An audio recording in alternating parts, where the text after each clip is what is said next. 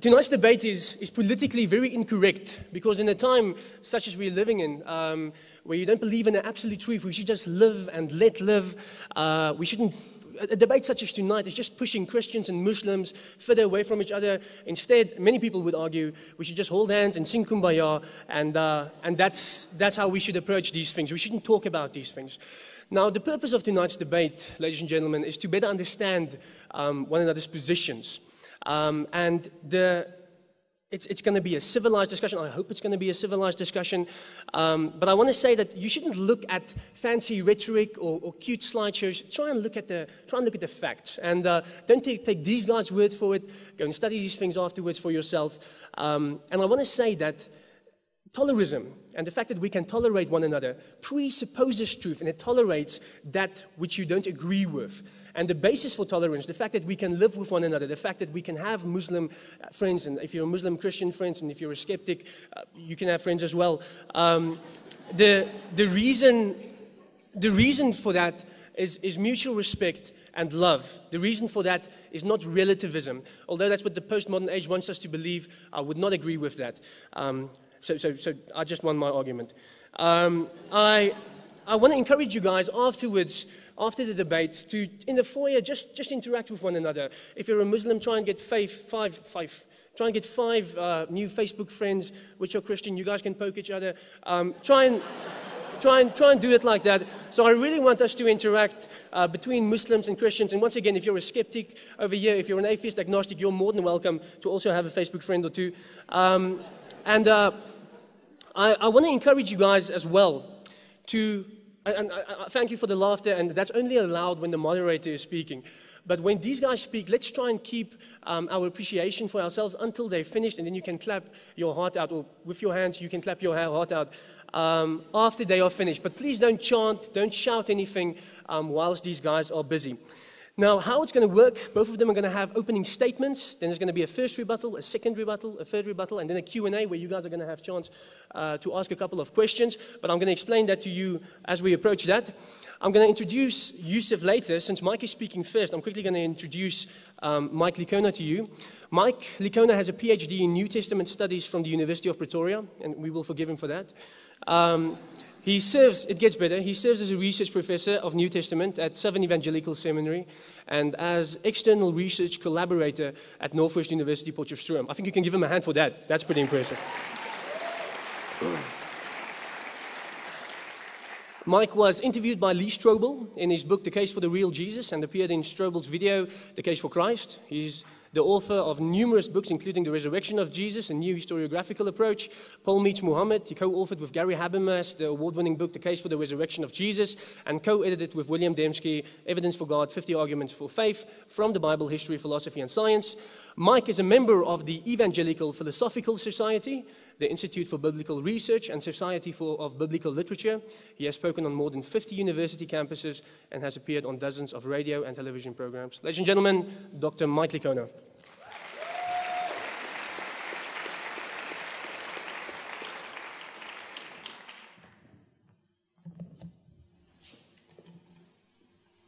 Well, good evening. Assalamu alaikum. May all praise, honor, and glory be to God the Father and to his Son, Jesus Christ, through whom we receive grace and mercy and forgiveness.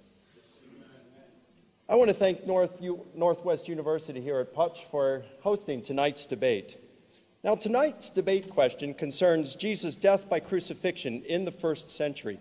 Was it um, a historical fact or is it fiction? Now, there are two major reasons why tonight's topic is of interest. First, the early Christians made it uh, something that was the heart of their proclamation of the gospel. If Jesus died on the cross, then according to Christianity, that means our sins can be atoned for. But if Jesus didn't die on the cross, then that means there's no atonement for sins. Moreover, if Jesus didn't die on the cross, there's no resurrection from the dead. Jesus didn't rise from the dead. And the Apostle Paul said, If Christ has not been raised, your faith is worthless. You are still in your sins, and those who have died as Christians already, our family members, our friends, our loved ones, are forever lost. So the bottom line is if, if Jesus Christ did not die by crucifixion in the first century, Christianity is a false religion. There's another side of the coin. The Quran is clear in its assertion that Jesus did not die by crucifixion. Surah 4, verses 157 and 58 read that they said in boast, We killed Christ Jesus, the Son of Mary, the messenger of Allah. But they killed him not, nor crucified him, but so it was made to appear to them. And those who differ therein are full of doubts, with no certain knowledge, but only conjecture to follow. For of a surety they killed him not. Nay, Allah raised him up into himself, and Allah is exalted in power, wise. Now, I realize that Muslims have a number of different ways of in, interpreting this text, and that's fine, that there's ambiguity involved. The biblical text has ambiguity involved in certain places as well. That's no, of no consequence in tonight's debate. What is important is that the Quran is crystal clear here in saying that Jesus did not die by crucifixion. Thus, if Jesus actually died by crucifixion in the first century, um, Islam is false because the foundation upon which it rests collapses. So, whereas tonight's debate uh, will not confirm either Islam or Christianity, it certainly has importance in terms of disconfirmation. If Jesus died on the cross, it disconfirms Islam. If, it, if he did not die on the cross, it disconfirms Christianity. So, how should we proceed? Muslims and Christians have fundamental differences when it comes to Jesus. Muslims base their view on the Quran, while Christians base their view on the Bible.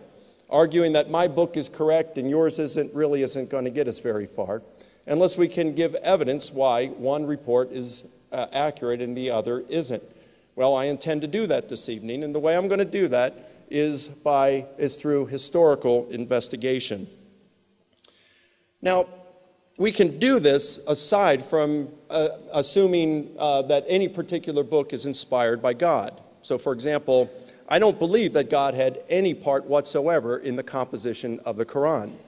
Nevertheless, as a student of history, I can still learn from it. For example, in Surah 551, it reads, O ye who believe, take not the Jews and Christians for your friends and protectors. They are but friends and protectors to each other and he amongst you who that turns to them for friendship is of them. Verily, Allah guideth not a people unjust. Now, again, I do not believe that God had any part in the composition of the Quran. Notwithstanding, as a student of history, it's easy to conclude, and everyone would agree, even Muslims, of course, that um, in the seventh century, when the Quran was being penned, um, we can know that Muslims were strongly discouraged from having friendships with Christians and Jews. Now, in a similar way, scholars who reject the Gospels as accurate biographies of Jesus can still learn about Jesus from them and do it all the time. Atheists, agnostics, uh, liberal Christians, Jewish scholars, doesn't matter. They still can uh, mine through them, even though they don't believe it has been inspired by God in any sense and learned things about Jesus and the early church. So, um, uh, I personally believe that the Bible is God's Word, but I'm not going to take a position such as that this evening. I'm not going to presuppose that the Bible is inspired by God or that it's even generally trustworthy. I'm going to bear the burden of proof as a historian to prove with reasonable and adequate historical certainty what I'm claiming. Thus, tonight, I'm going to defend two major contentions. Number one, I'm going to say, uh, defend, and argue that there are good reasons for holding that Jesus died by crucifixion. And number two, there are no good reasons for denying Jesus' death by crucifixion. Now, since Yusuf hasn't presented his case, I'm going to wait uh, to hear what he has to say and address his arguments in the rebuttal periods. Thus, in my opening statement, I'm going to focus on my first major contention that there are good reasons for believing that Jesus died by crucifixion, and I'm going to provide six. Number one, the reports, and this is the longest one, the reports of Jesus' death by crucifixion are early. Jesus' death by crucifixion appears in numerous times in the kerygma, or the official apostolic teaching, found in the oral formulas peppered throughout the New Testament. Perhaps the earliest report of Jesus' death is found in the tradition in 1 Corinthians chapter 15 verses 3 and following. And this reads, Christ died for our sins according to the scriptures, and that he was buried, and that he was raised on the third day according to the scriptures, and that he appeared. Now, virtually all scholars who have written on the subject agree that Paul here provides tradition about Jesus that he had received from others. There is likewise widespread agreement that it was composed very early, reflected what was being taught by the Jerusalem apostles, and is the oldest extant tradition pertaining to the death and resurrection of Jesus. So it's really quite amazing that what we are looking at here is certifiably a, an official and formal proclamation of the disciples on the death and resurrection of Jesus. Now let's put a bookmark here and we'll return in a moment because I'd like to take a brief look at Paul.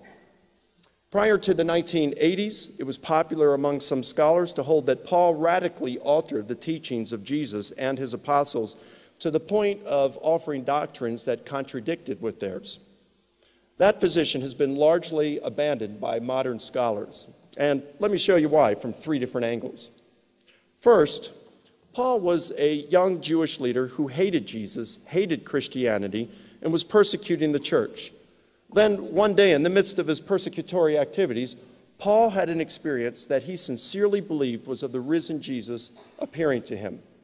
That experience radically transformed his life from being a persecutor of the church to one of its most able defenders.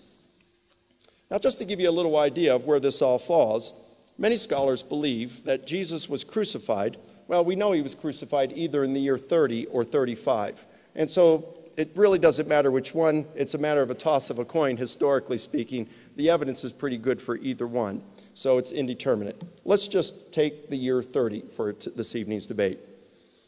Many scholars likewise believe that Paul had his conversion experience one to three years later. So let's just call it two years later and say the year 32.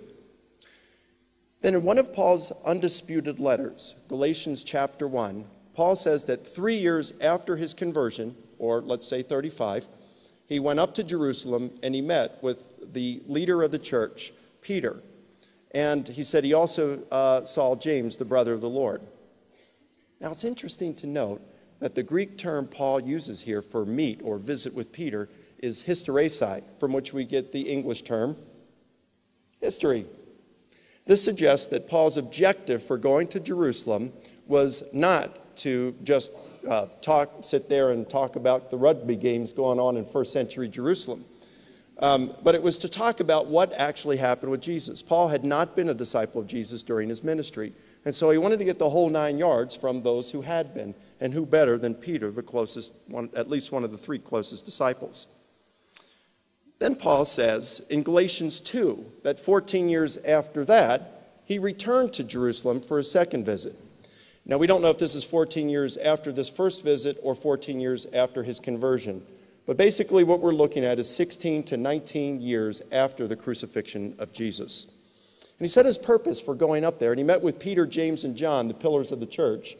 And he went up there to run the gospel he had been preaching these years past them to ensure that he hadn't been working in vain all these years. He wanted to make sure he's preaching the same thing they were. Imagine being in that room Peter, James, John, and Paul talking theology. Wouldn't that be cool? Now, here you got them talking about that, and Paul says they added nothing to what I had to say. In fact, they extended to me the right hand of fellowship. In other words, they were saying, You're good, Paul. Keep up the good work, the good work brother. Now, if that's all we had on it, of course, that's Paul's story. But if that's all we had on it, it would be difficult to know whether Paul was telling the truth or lying. Fortunately, we have some corroborative evidence. Clement of Rome and Polycarp. Hey, some pretty cool names for you students. You get married and you want to have kids someday, just remember those names Clement, Polycarp. You can name your sons that. So, Clement of Rome and Polycarp were probably disciples of the apostles Peter and John, respectively. And um, had Paul's essential teachings then been in contrast or contradictory to, uh, to that of Peter and John, we would have expected Clement of Polycarp to chide and correct Paul in their letters. And we have their letters, but we don't find them chiding and correcting Paul. Instead, we find Clement referring to the blessed Paul. In fact, in another chapter, he put, places Paul on par with his mentor Peter. Polycarp speaks of the glorious Paul who taught the message about the truth accurately and reliably. Polycarp then also quotes Paul's letters and refers to them as part of the sacred scriptures. Now, that's not the kind of things that you say about someone who's a heretic, but it is precisely the kind of words we say about, they would say about Paul if he had been preaching what their mentors, Peter and John, were preaching. We can also test Paul on the matter in 1 Corinthians chapter 7, a chapter about marriage. The Corinthians ask Paul three questions. First question Hey, Paul, is it okay to get married? And Paul says, Sure. Um, I can tell you, he says, that if you remain single, there are some advantages to it. You'll have more time and resources uh, in order to devote to the kingdom. But hey, this is my opinion. Do what you want on it. All right, Paul, second question Can I get divorced? And Paul says, Not I, but the Lord. In other words, this is no longer my opinion. I'm going to tell you what the Jesus tradition says, what Jesus said that's been passed along to me from the Jerusalem apostles. And then he gives the same teaching that we find in Matthew and Mark. Unless your spouse cheats on you, uh, you, you can't get divorced. All right, Paul, third question. I'm married to a non believer. Can I get divorced? And then Paul, he makes that strange statement that has baffled so many of us for so long. He says, Not the Lord, but I. What do you mean by that, Paul? Is this not the red letter edition of the Bible we're reading? Are, are you saying that we don't have to pay attention to what you're saying if we don't want? That's not what Paul's saying. Paul's saying that Jesus didn't teach on this, so there's no teaching, uh, Jesus tradition. After all, before the church was formed, there was no being married to a non believer. I suppose everybody was a non believer at that point. So new issues come up um, that Jesus didn't deal with during his ministry. And so Paul's saying there's no Jesus tradition on this, so let me give a ruling. And he basically says if you're married to a non believer and they want to get a divorce, they can get, you can get a divorce. But if they want to remain married to you, you got to remain married to you. And he says, This is my command, pass it along to the other churches. So, what does this have, marriage stuff have to do with Paul? What's really neat here is we, where we contest Paul, we see that he refuses to do what skeptical theologians for many years now have accused him of doing. When he needed authority behind one of his teachings, inventing words of Jesus and, and saying that Jesus taught it instead. Now, we see Paul refuse to do precisely that. That when it came down um, to keeping the Jesus tradition there, he kept it pure. He would not commingle the Jesus tradition with his own teachings, and he made it clear when it was Jesus' tradition and it was his own teachings.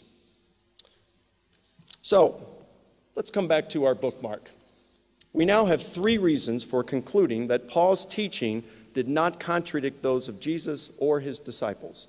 First, Paul reported that the Jerusalem apostles certified that his teachings were right in alignment with what they were teaching. Second, disciples of Peter and John reported that Paul was teaching the message of Jesus accurately and reliably. And third, where we can test Paul, we find him being painfully careful to preserve the Jesus tradition that had been handed down to him. And it's this Jesus tradition that we just read in 1 Corinthians 15, verses 3 through 5. Therefore, we can be entirely confident that when we're reading this kind of oral tradition in Paul's letters, we're hearing the voice of the Jerusalem apostles on these core issues. So, reason number one for holding that Jesus died by crucifixion is that the reports are early and originate with Jesus' apostles. Number two, Jesus' death by crucifixion is attested by sources unsympathetic and even hostile toward Christianity. Josephus, Tacitus, Lucian, and Mara bar Serapion are all aware of Jesus' execution. Lucian, Lucian adds that Jesus was uh, crucified in Palestine, while um, uh, Tacitus and Josephus report that it was Pilate who had him crucified, just as reported in the Gospels. Number three, Jesus' death by crucifixion is multiply attested by a fair number of ancient sources. In addition to those unsympathetic sources just mentioned, Jesus' execution is widely reported in the early Christian literature. All four canonical Gospels report Jesus' death by crucifixion, as do numerous other books and letters of the New Testament. Jesus' death is also abundantly mentioned in the non canonical Christian literature. Reports of Jesus' death by crucifixion also appear in multiple literary forms, being found in annals, historiography, biography, letters, and traditions in the form of creeds, oral formula, and hymns. This is the strongest form of multiple attestation historians can ever hope for. Number four, the reports of Jesus' death by crucifixion in the Gospels satisfy the criterion of embarrassment. This criterion states that when an author reports embarrassing content that could serve to discredit a cause he embraces, this weighs in favor of the truth of the report. This point is seldom appreciated when we read the passion narratives in the Synoptic Gospels.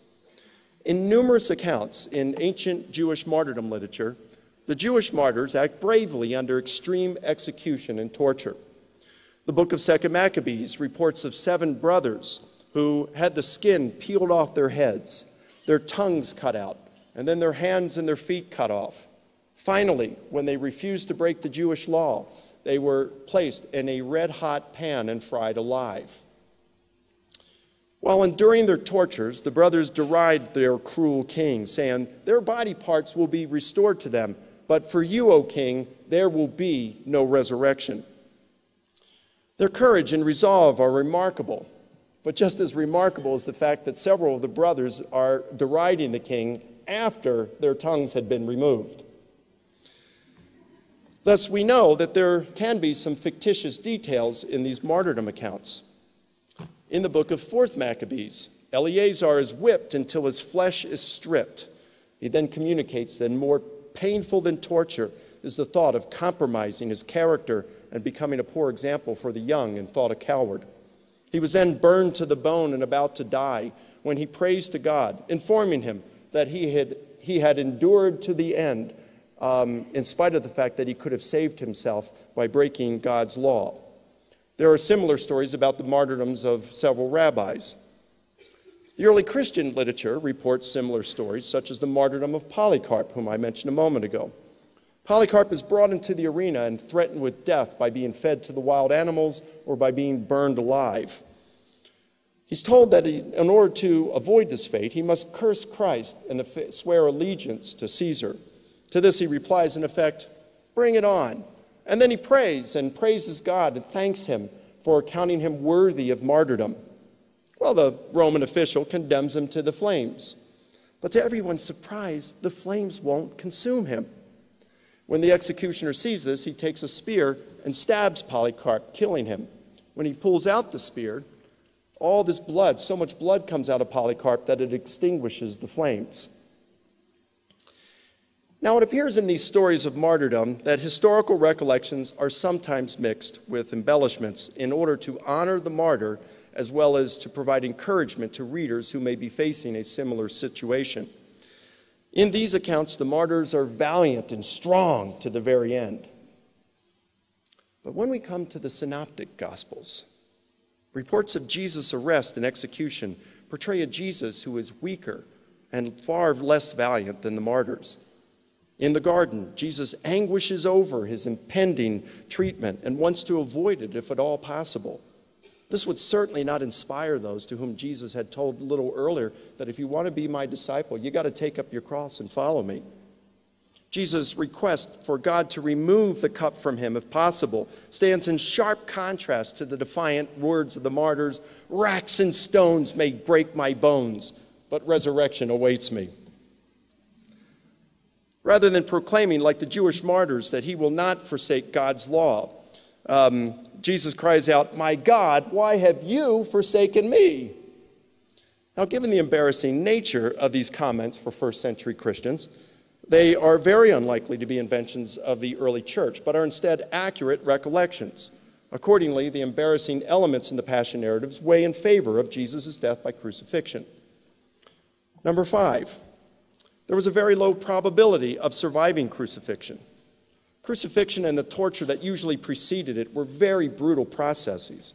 In fact, only one account exists of a person surviving in crucifixion. Uh, in that account, Josephus reports of seeing three of his friends crucified. So he ran to his friend, the Roman commander Titus, who, as a favor to Josephus, ordered that all three be removed immediately and provided the best medical care Rome had to offer. In spite of this, two of the three still died.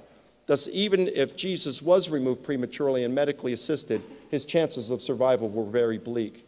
But to complicate things, there's no credible evidence that Jesus was removed while alive or that he was provided any medical care whatsoever, much less Rome's best. These five arguments I've just provided make a very strong historical case for Jesus' death by crucifixion. And notice that none of them, none of them require that the Bible be inspired or without error. The historical uh, evidence for Jesus' death by crucifixion is so strong that it has persuaded nearly 100% of even skeptical scholars today to regard them as a certain fact of history. Now, that's my historical case for Jesus' death by crucifixion. But I want to provide a sixth argument that has a theological component. Although Christians regard Jesus as God's divine son, we also regard him as a prophet, as do Muslims. Christians and Muslims also agree that the prophecies of a true prophet are always fulfilled. Thus, my sixth argument for Jesus' death by crucifixion is this Jesus is a true prophet of God, and he prophesied his imminent death. The canonical Gospels portray Jesus prophesying his imminent death on several occasions. And although historians can't approve Jesus that Jesus uttered each of them, they can establish that Jesus did indeed prophesy his imminent death. Let's look at three key texts. The first is Mark 8, 31 through 33. And Jesus began to teach them that the Son of Man must suffer many things and be rejected by the elders and the chief priests and the scribes and be killed, and after three days rise again. And he was stating the matter plainly. And Peter took him aside and began to rebuke him. But turning around and seeing his disciples, he rebuked Peter and said, Get behind me, Satan, for you are not setting your mind on God's interest, but man's. Now, there are a number of reasons for regarding this exchange between Jesus and Peter as historical. First, we find two statements that are unlikely inventions of the early church given their embarrassing nature. Peter has the audacity to rebuke his master, Jesus, who in turn rebukes the disciple uh, who would become the lead apostle in the post Easter Jerusalem church, even calling him Satan.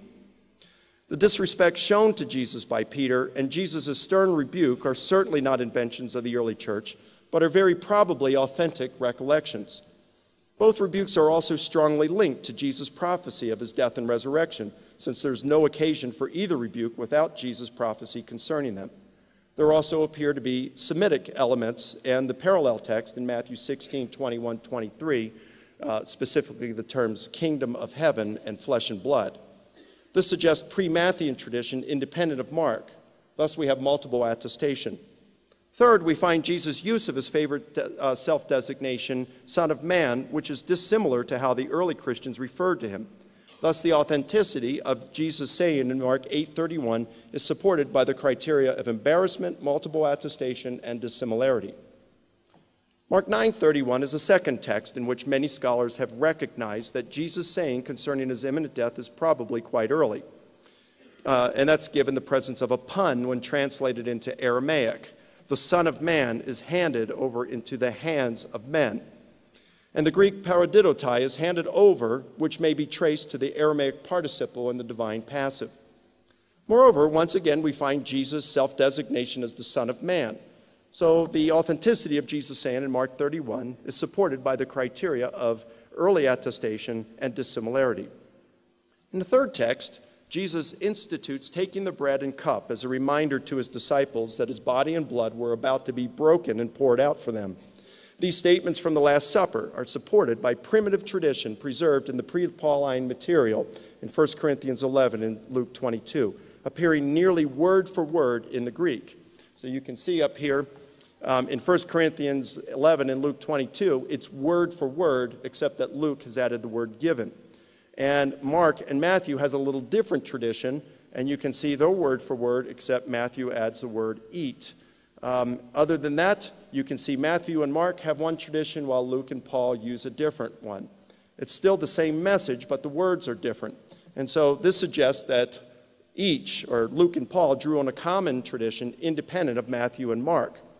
Accordingly, the authenticity of Jesus' saying concerning his death uttered at the Last Supper is supported by the criteria of multiple attestation and early attestation. So in summary, Mark 8:31 is multiply attested and contains features that are embarrassing as well as dissimilar to the teachings of the early church.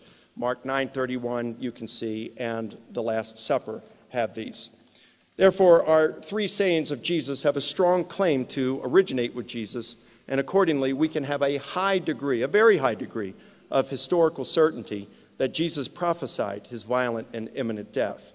And if he was a true prophet of God, as both Muslims and Christians believe, we can be confident that his prophecy was soon fulfilled. Now, this creates a horrible dilemma for Islam. Because if Jesus died a violent and imminent death as he prophesied, then the Quran is mistaken because it says he didn't. On the other hand, if Jesus did not die an imminent death as he said, as he prophesied, then the Quran is mistaken because Jesus would be a false prophet and the Quran refers to him as a true prophet of God. Either way, the Quran is mistaken. It is not the Word of God. Now, this is an appropriate place to draw an important distinction between Islam and Christianity. Because as, an evangelical Christian, I believe the Bible is, part of, is God's word without error. However, different from Islam, such a belief is not part of what one may call the essentials of the Christian faith. In other words, the truth of Christianity is not contingent upon the doctrine of biblical inerrancy. Christianity is true because Jesus rose from the dead, not because every word in the Bible is true. So it's not an all or nothing matter when it comes to the Bible. Christians believe that God inspired the biblical writers, but we have no idea really how this occurred. We find a different situation, however, when we examine the relationship between the Quran and Islam. Since Muhammad claimed that the Quran had been dictated to him word for word, there's no room for any historical errors. If there are errors, then we can be assured that the Quran was not passed along from God. Now, the reason for this is relevant for this evening's debate. Aside from the Quran, there are no reasons for holding that Jesus did not die a violent and imminent death. Since we can know that the Quran is mistaken on the matter of Jesus, we are left with no reason for rejecting the abundant historical and theological evidence that Jesus died by crucifixion. Moreover, since the truth of Jesus' death by crucifixion is not contingent on the Bible being inspired by God, drawing attention to some alleged problems posited by skeptics carries little, if any, weight, since it fails to address the six arguments I presented for Jesus' death by crucifixion that are based on knowable historical facts. In summary, I've provided six reasons for concluding Jesus died by crucifixion. One, the event is reported by early sources, some of which can reasonably be traced to the Jerusalem apostles. Two, the event is reported by unsympathetic sources who were not biased toward a Christian interpretation of events. Three, the event is multiply attested by numerous ancient sources and in multiple literary forms. Four, the passion narratives are credible since they fulfill the criterion of embarrassment. Five, the probability of surviving crucifixion was very low. And six, Jesus was a true prophet who prophesied his violent and imminent death. When open to possibilities, historians must be guided by probabilities. Given these six arguments I presented by Jesus' death by crucifixion, a very strong burden of proof falls on anyone who would deny it. Accordingly, given the very strong evidence we have for Jesus' death by crucifixion, without good evidence to the contrary, the historian must conclude that Jesus was crucified and that the process killed him. Thank you.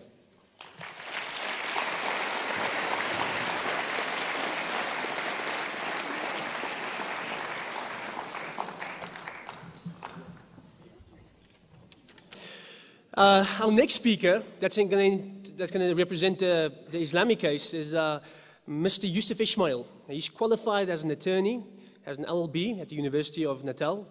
He was admitted as an advocate in 2005. He occasionally lectures on law at UNISA. He has debated a, couple of other prominent uh, Christian apologists uh, with the likes of William Lane Craig and John Gilchrist.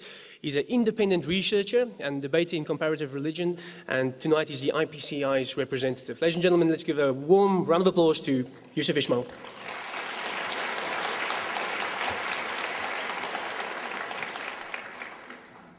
Could I just put that there and put that down?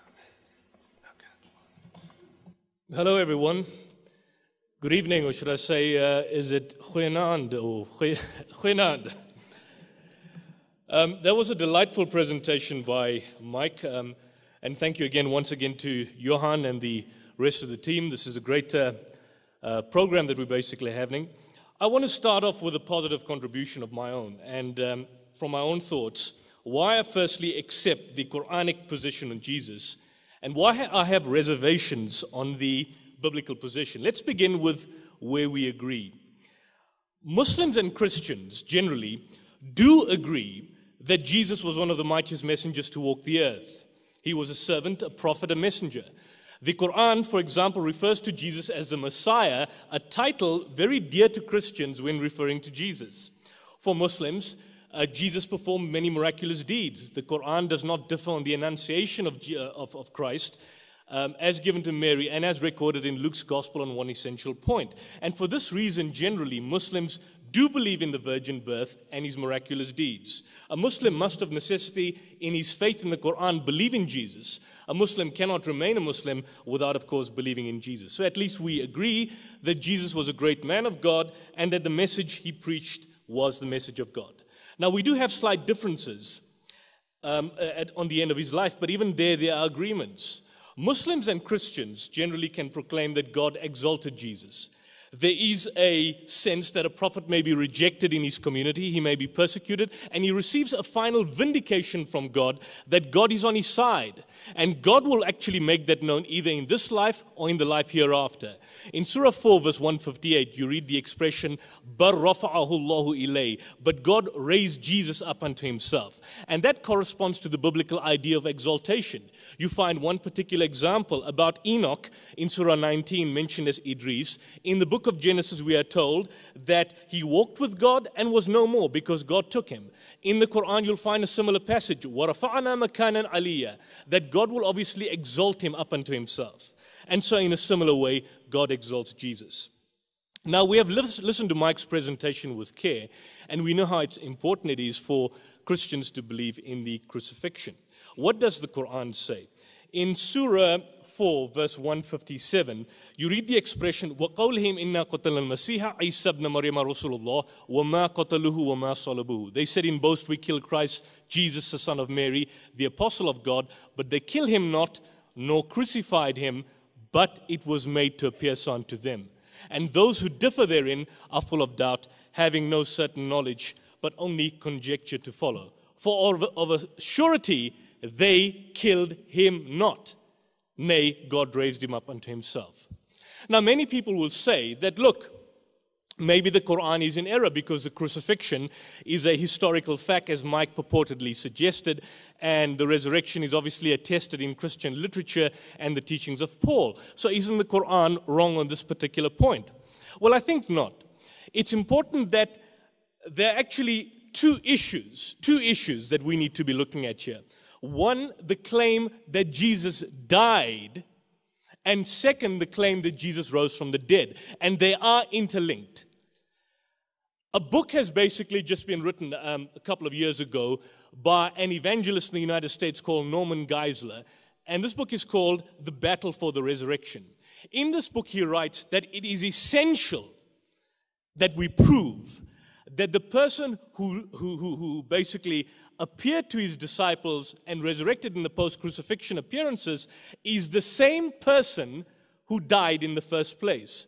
Otherwise, you can have a situation where one person allegedly dies, the body goes missing, another person comes and appears and resurrects, and they say, Oh, he was crucified, he died, and now he's risen from the dead. So, in that case, in, in terms of which you would then have an issue of mistaken identity. And that basically is a problem. How does one prove from the gospel material that Jesus basically died and he rose from the dead? In other words, there has to be a confirmation of the supposed identity of the individual, and this is where the problem occurs. If you look at the post crucifixion appearances, um, that are shown in the Gospels. Generally, there is some degree of question on the identity of the person. If you take one particular example, um, in the Gospel of Matthew, it has it when Jesus appeared to his disciples on a certain mountain in Galilee, they saw him, they worshiped him, but they doubted. Some translators would have it that some doubted, but it seems that the New American Bible uh, and the RSV in Matthew 28 17 would say that the more accurate translation is that the disciples of Jesus doubted when they saw Jesus in the post crucifixion appearances. Mark's gospel does not have an account of the post crucifixion appearances of Jesus or the resurrection, which begs the question why not? Luke's gospel, in Luke's gospel, you have a question where Jesus appears to two of his disciples on the road to Emmaus. He joins them, he engages in a conversation with them, and he walks some miles. And then afterwards, he joins them to break bread. And when they break bread, that is when they recognized him. Now, why is it that in the long journey, the disciples of Jesus could not recognize him, who he was? And then they started to say to each other, Didn't our hearts burn when we walked on the actual road? So, in other words, it's significant that not from seeing his face or from hearing the voice print that they in fact recognized Jesus, but in the manner in which he broke bread, which means there was an element of doubt. What about Luke's gospel?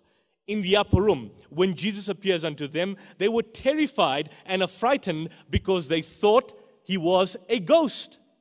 Now, why would the disciples of Jesus think that the man was a spirit? Did Jesus look like a ghost? Did he look like a spirit? And the answer is no. So he then basically shows them his hands and his feet, and he says, It is really me. So, what's the point that Jesus is trying to prove here? What's the idea? Flesh and blood. Touch me and see. A spirit has no flesh and bones, as you see me have. So it seems then that the continuing motif in all these narratives is that Jesus is trying to prove his identity to the disciples through some other means. In other words, look at the alleged crucifixion wounds and believe that it is me. What about John's gospel? On chapter 21, Jesus appears to his disciples on the lake of the shore of Tiberias. And when he appears to them, they sat and had breakfast with him. But none of them dared to ask who he was because they were sure it was Jesus. Now, why should the writer of the gospel say that? Why should anyone have any doubt? Why should anyone doubt that this is Mike Licona, that this is brother Johann Erasmus, and this is Yusuf, if he was there with them at that particular t- time? Mary, we are told, when she comes to a tomb and, and Jesus appears to her, what does she think?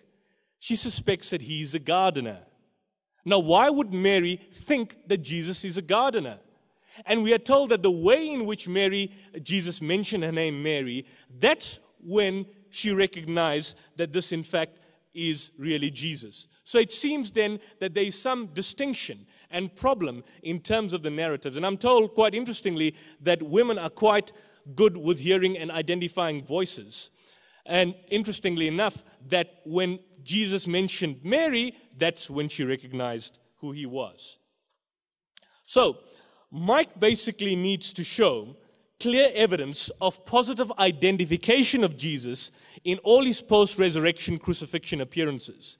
And this is where the problem occurs for all apologists, because they seem to rely on a few sayings of Paul as if that would basically vindicate their particular position. It's interesting to note that Mike has not dealt with the issue of the resurrection, and yet that is a critical point for Christian belief. If we as Muslims, all of us today, are simply left with the belief that Jesus died by crucifixion, then what are we saying?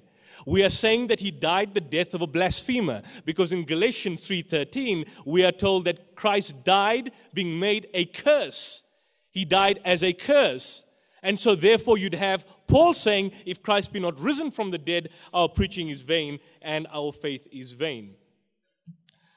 So of course if Jesus did not die in a cursed death then there is no problem in believing in him. Hence, what you would find the Quran, which causes Muslims to believe in, that Jesus did not die the accursed death, is not the problem, but in fact the solution. If Mike wants Muslims to believe in Jesus, then the best way is for him to encourage Muslims to keep on believing in the Quran. Because if a Muslim were to disregard the Quran, then logically he has no reason to believe in Jesus. If we are saying that Jesus died a blasphemous curse, he died as a curse, as a blasphemer.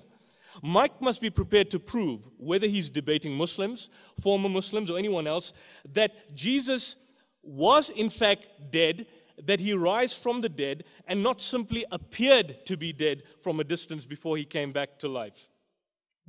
It's interesting to note on this particular point that if we believe the Gospels, the disciples obviously expected the resurrection, but no one has yet been able to point out a single passage in the Old Testament which foretold the resurrection narratives.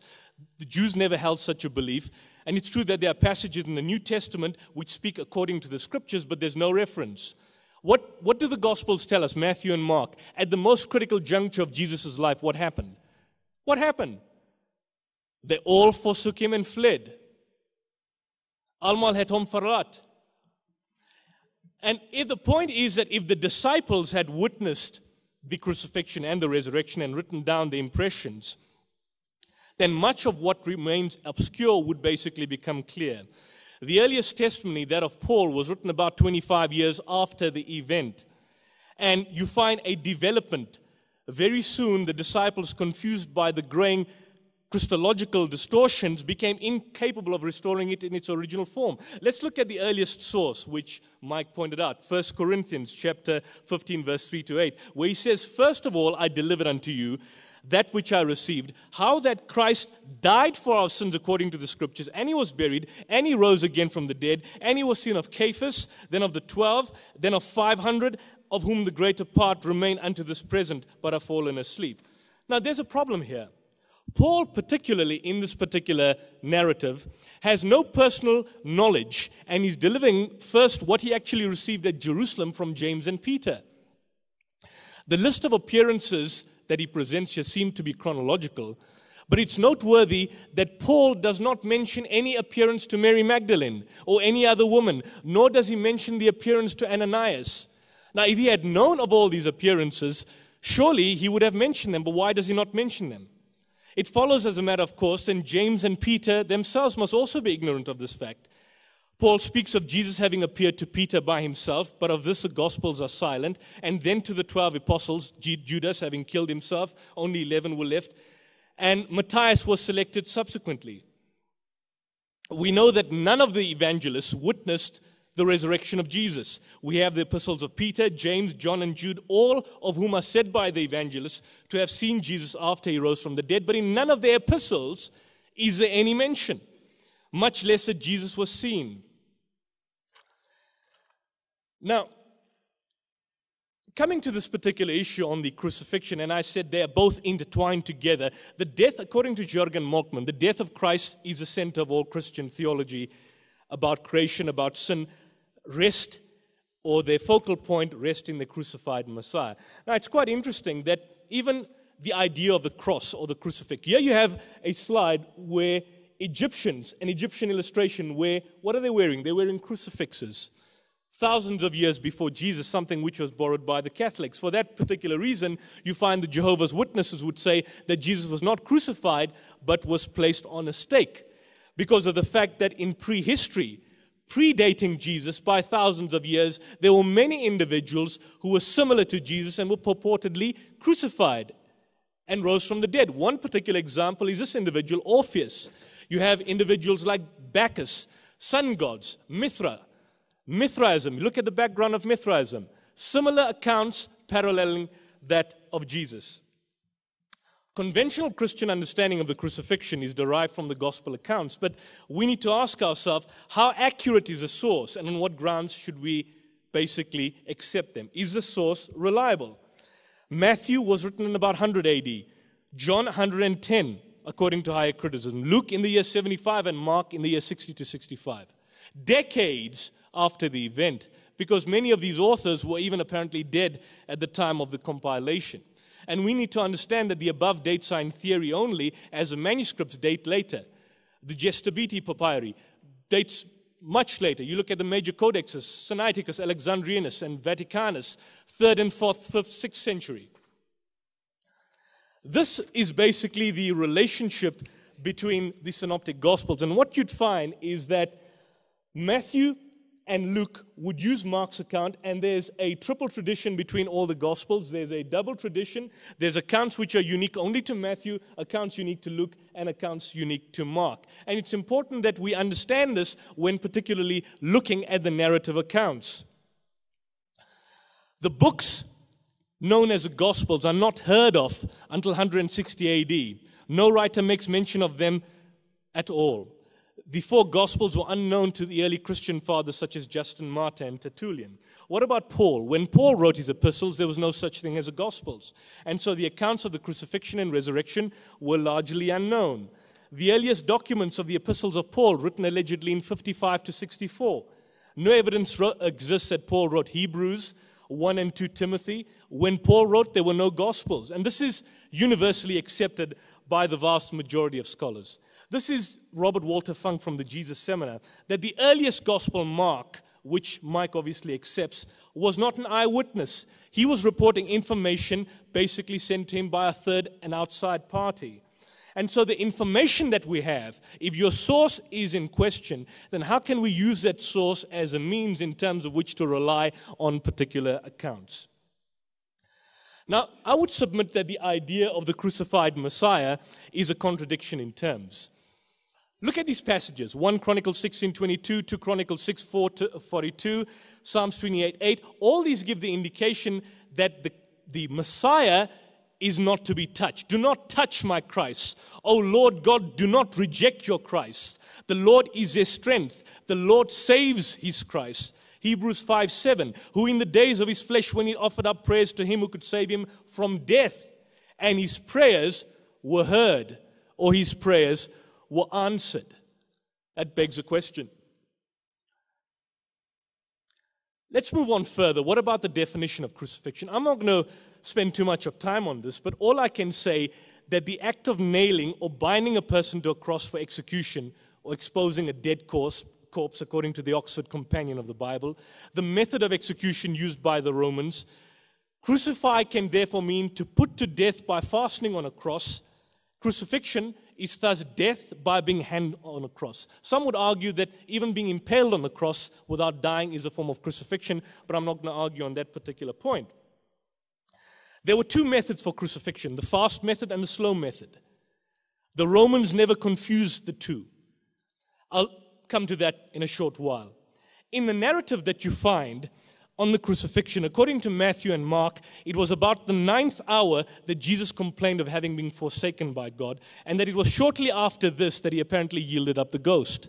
Mark gives us a time that when Jesus was put on the cross, it was the third hour. Therefore, according to these two, Jesus was then on the cross for six hours. Luke fixes the sixth hour as the time when Jesus actually gave up the ghost, and he mentions the darkness from the sixth to the ninth hour. On the other hand, John says that it was about the sixth hour that Pilate sat in judgment of Jesus. Now, even if we assume that Jesus was put on the cross instantly after the sentence, Jesus could not have remained on the cross for more than three hours.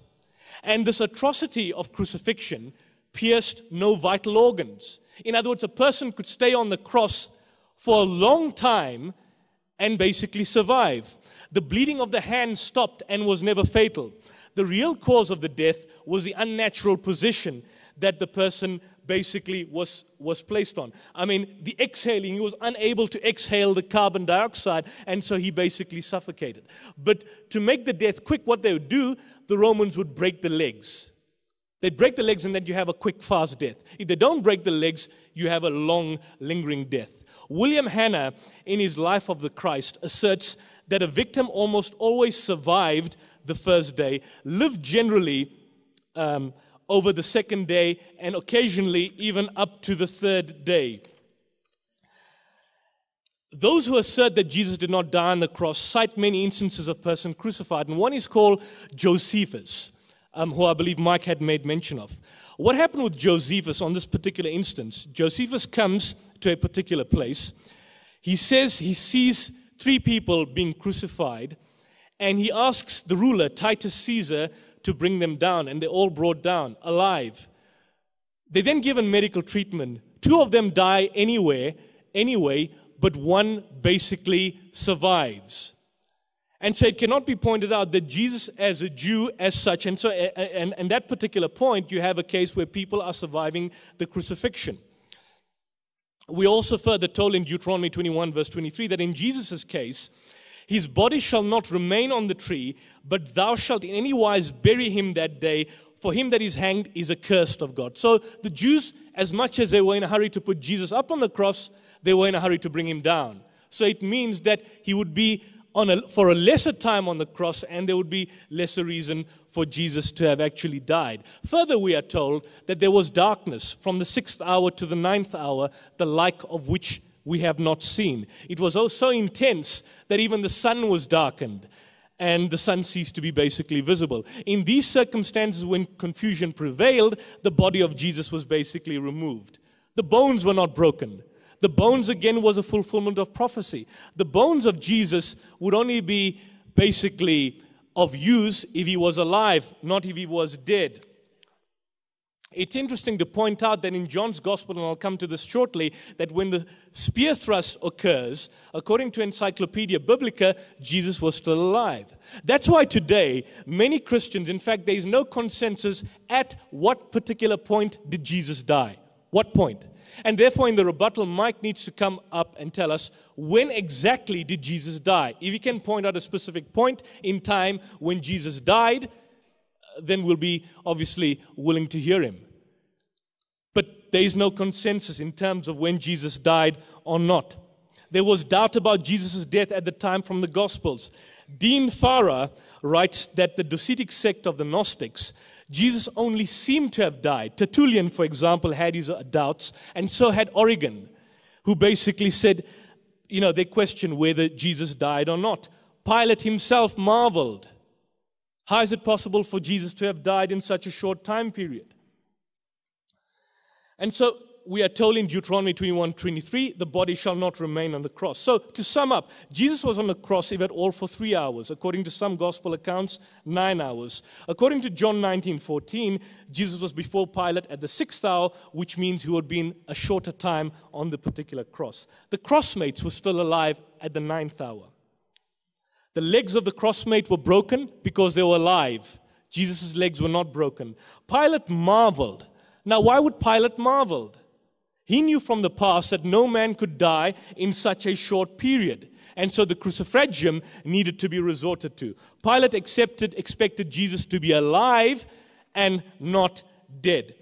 For that particular reason, we are told, and, but before I come to that, we are then subsequently told that as a result of that, the Pharisees, thinking that they had been cheated, they come and they then say, Command that the sepulchre be made sure until the third day, lest his disciples steal him by night and say unto the people, He is risen from the dead. So the last error shall be worse than the first. Now, what was the first error and what was the last error? The first error could not, therefore, be other than Jesus had been taken down from the cross much earlier than was necessary and that his bones had not been broken. And as a result of which, Jesus, according to them, had not been killed. That was the first error. They therefore prayed that if he wasn't killed on the cross, they needed to keep the sepulchre secure so that he would eventually die inside the tomb. But they were a day late. They were a day late because Jesus could have been removed from the tomb even on the Friday evening.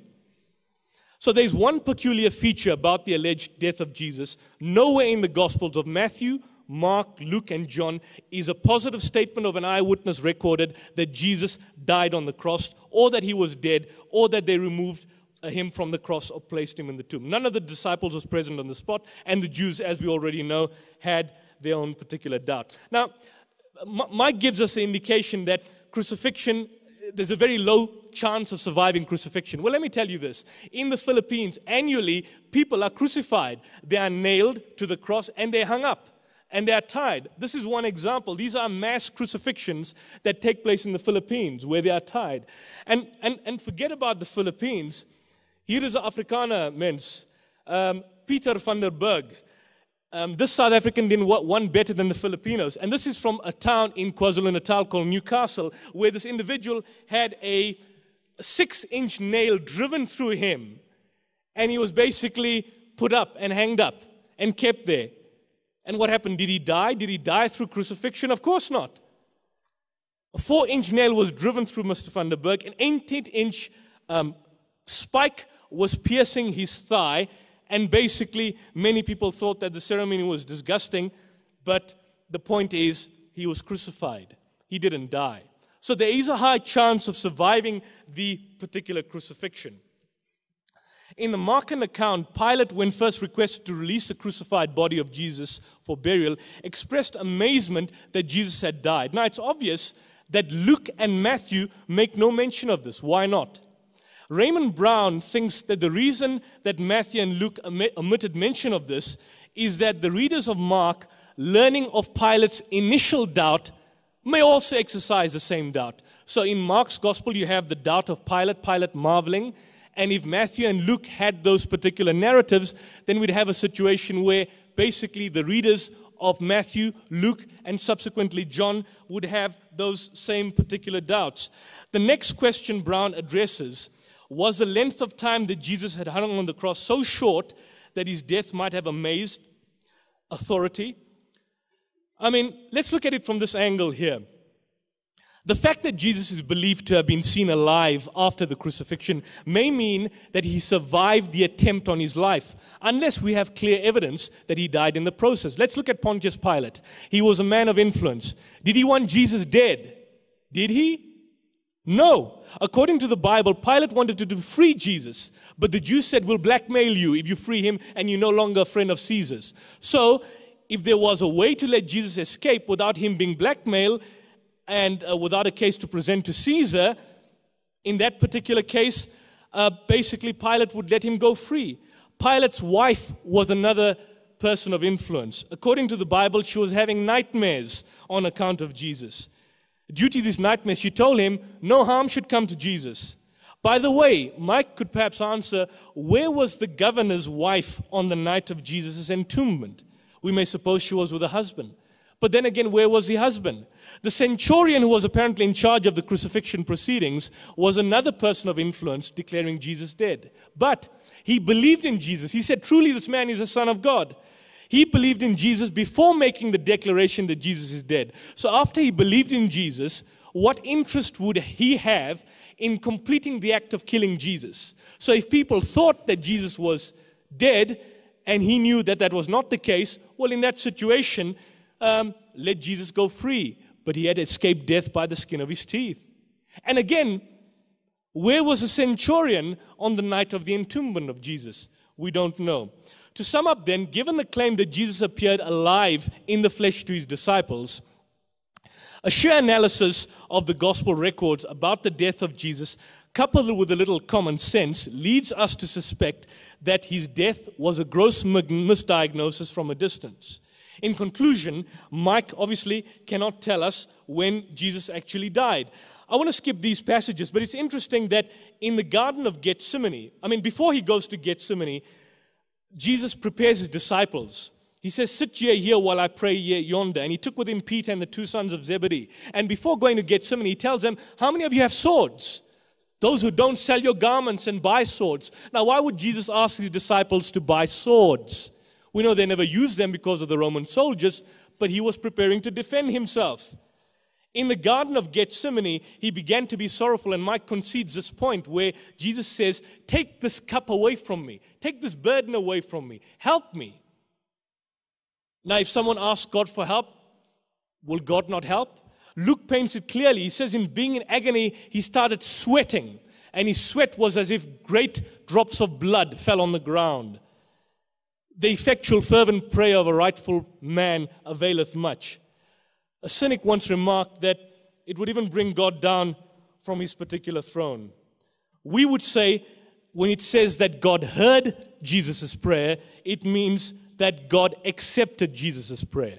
And there appeared an angel strengthening him. So the Jews had miscalculated regarding the enthusiasm demonstrated by these disciples. And what happened at the most critical juncture? all his disciples forsook him and fled. We further told that the centurion saw that he was dead. Now, what does it mean? Did they have stethoscopes to verify that he was dead? Of course not.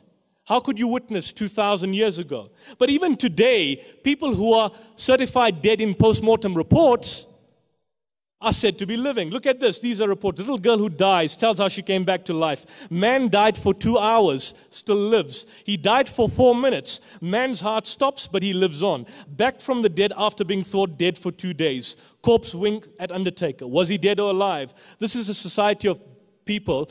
Their um, challenge to having been dead and coming back from the dead. They were actually not dead, but they were certified dead by post mortem reports.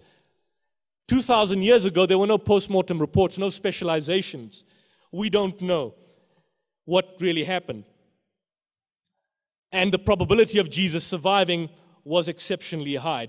I do understand that um, um, I'm, I'm been given a time to stop. I'll just conclude on this particular point that Daniel Smith, in the postmortem vindication of Jesus in the sayings Q, argues that there was a Christian concept according to which Jesus was assumed into heaven. And according to Smith, this view is supported by the pre Markan narrative. But whereas Smith insists that Jesus was taken up dead in the manner of Moses and Isaiah, his study also highlights that the Q Gospel, which serves as a source for Matthew and Luke, do not speak of the death and resurrection of Jesus. The German scholar Dieter Zeller argues on the basis of the Q Gospel that the early belief entailed the assumption of Jesus alive into heaven, as was the case of Enoch and Elijah. And this position is the exact position, as I've argued, when the Quran says that they killed him not, nor crucified him, but it was made to appear so unto them. En omdat en uh, uh, en hulle het hom nie gedood nie en hulle het hom ook nie gekruisig nie. And that is basically what the Quranic position states. So I'll be interested in hearing what Mike um, suggests in the rebuttal, and I hope we can continue in this meaningful and amicable format. Thank you, and God bless you.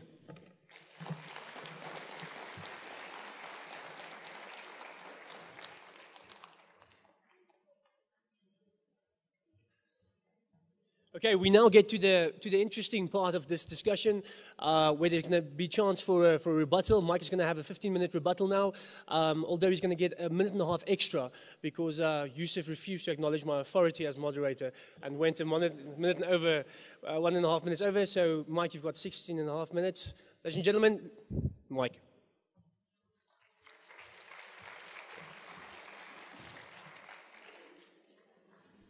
Well, thank you for that opening statement, Yusuf. And since you're interested in hearing, I'll say I won't keep you waiting. Now, in my opening statement, I said that I, tonight I was going to defend two major contentions. Number one, there are good reasons for believing that Jesus died by crucifixion. And two, there are no good reasons for denying it. So now I'd like to review those two major contentions in light of what Yusuf just argued. Let's start with my first major contention. There are good reasons for holding that Jesus died by crucifixion. And here I provided six reasons. First, I said the reports of Jesus' uh, death by crucifixion are early. Yusuf did not respond to this. Second, I said they appear in unsympathetic and even hostile sources. Yusuf did not respond to this argument. Third, I said that there are the reports of Jesus' death by crucifixion appear in multiple independent sources, such as the unsympathetic sources, many of those that are uh, independent of themselves, uh, much in the early Christian literature. Um, and even if we look at the gospel sources, you're looking at Mark, M, L, John. Um, so multiple, and plus there's multiple literary forms. This is the strongest kind of multiple attestation historians can hope for, period. Yusuf didn't respond to this. I said that the early reports of, or the reports of Jesus' death by crucifixion appear in sources that are embarrassing, such as I mentioned the Jewish and Christian martyrdom literature and compare that with the uh, passion narratives in the synoptics. Yusuf didn't respond to that either. Fifthly, I argued that there is a very low probability of surviving crucifixion. Now, Yusuf did respond to this. First of all, he said that Pilate was surprised. This is in Mark 15 44. He was surprised that Jesus um, had survived. Um, yes, but we have to look at the rest of the, the text too. This is called the cherry picking fallacy. Because the cherry picking fallacy is like when you pick, uh, uh, the cherry picker picks a few really ripe cherries off the tree and presents them, as that's what the whole tree is saying. Um, and, but if someone looked at the cherries on the tree and found that the rest of them weren't anywhere near being as ripe, in other words, presenting those ripe cherries gives a distorted view of what the tree is all about. And that's what we have here. Pilate, yes, he was surprised that Jesus died quickly, but same chapter, in fact, within just a couple of verses, because that's 1544 of Mark, 1537, Jesus breathed his last. 1539, the centurion saw how Jesus breathed his last. 1545, Pilate ascertained from the centurion that Jesus was dead. What about he says, well, the centurion saw Jesus was dead. Did he? Did he see him dead? Or did he surmise he was dead? And then he says there's multiple accounts uh, in modern times of people who were presumed dead, but they were really alive after all. Yes, that's correct. But none of the instances involve an executed person. And there's a big difference there. Roman executioners would know when the victim was dead because they weren't pushing up for air. And Yusuf is correct here. They would die of too much carbon dioxide buildup in the lungs from being in the down position, and they would have to pull up or push up on their legs to expel that excess carbon dioxide and then go back. And of course, they keep doing this. You break their legs so they can't push up anymore. They die a very painful death of convulsions, painful convulsions of too much carbon dioxide. So it, it was fairly easy to tell when a person was dead. He said, Well, Pilate was reluctant to have Jesus crucified. Yes, but we have to look at history here because Pilate had a protector in Rome named Sejanus. And just recently, Sejanus had been executed by Caesar, Tiberius Caesar on suspicion of treason.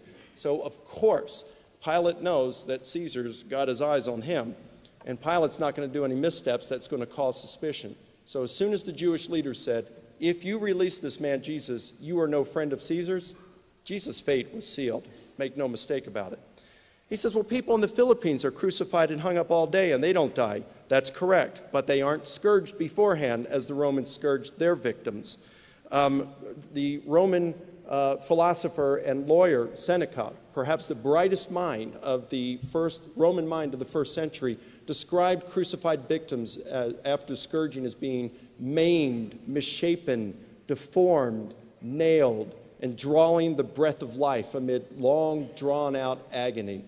That does not look, sound, that does not sound like the way folks are in the Philippines.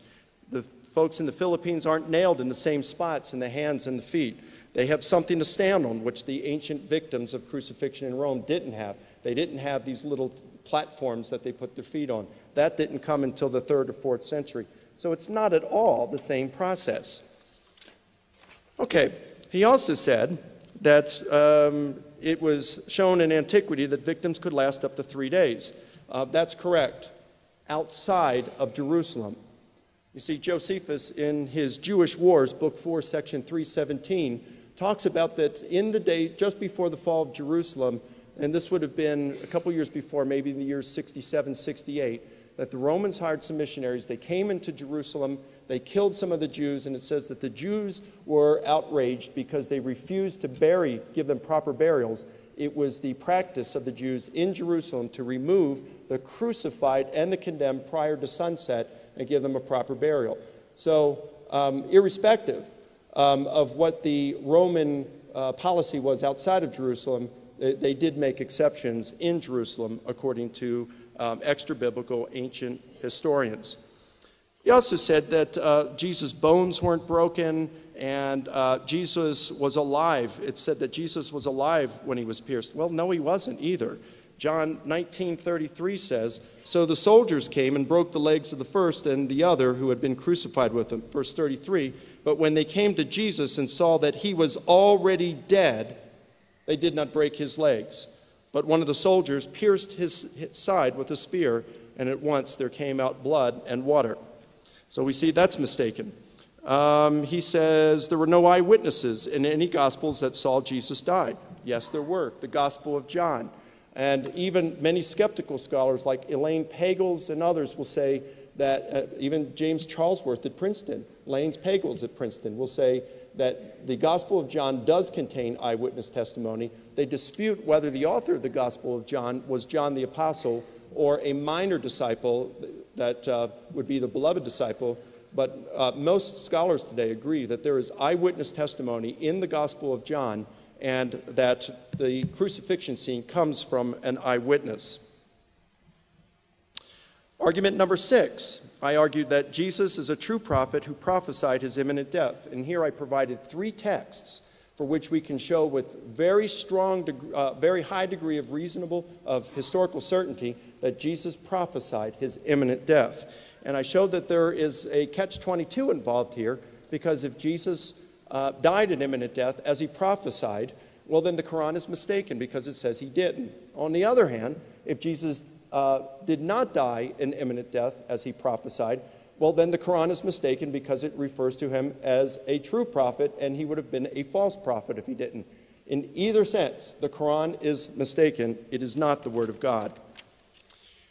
Now, Yusuf provided eight arguments of his own then for uh, rejecting Jesus' death by crucifixion. Number one, he said God exalted Jesus instead of um, having him die. He didn't provide any text in support.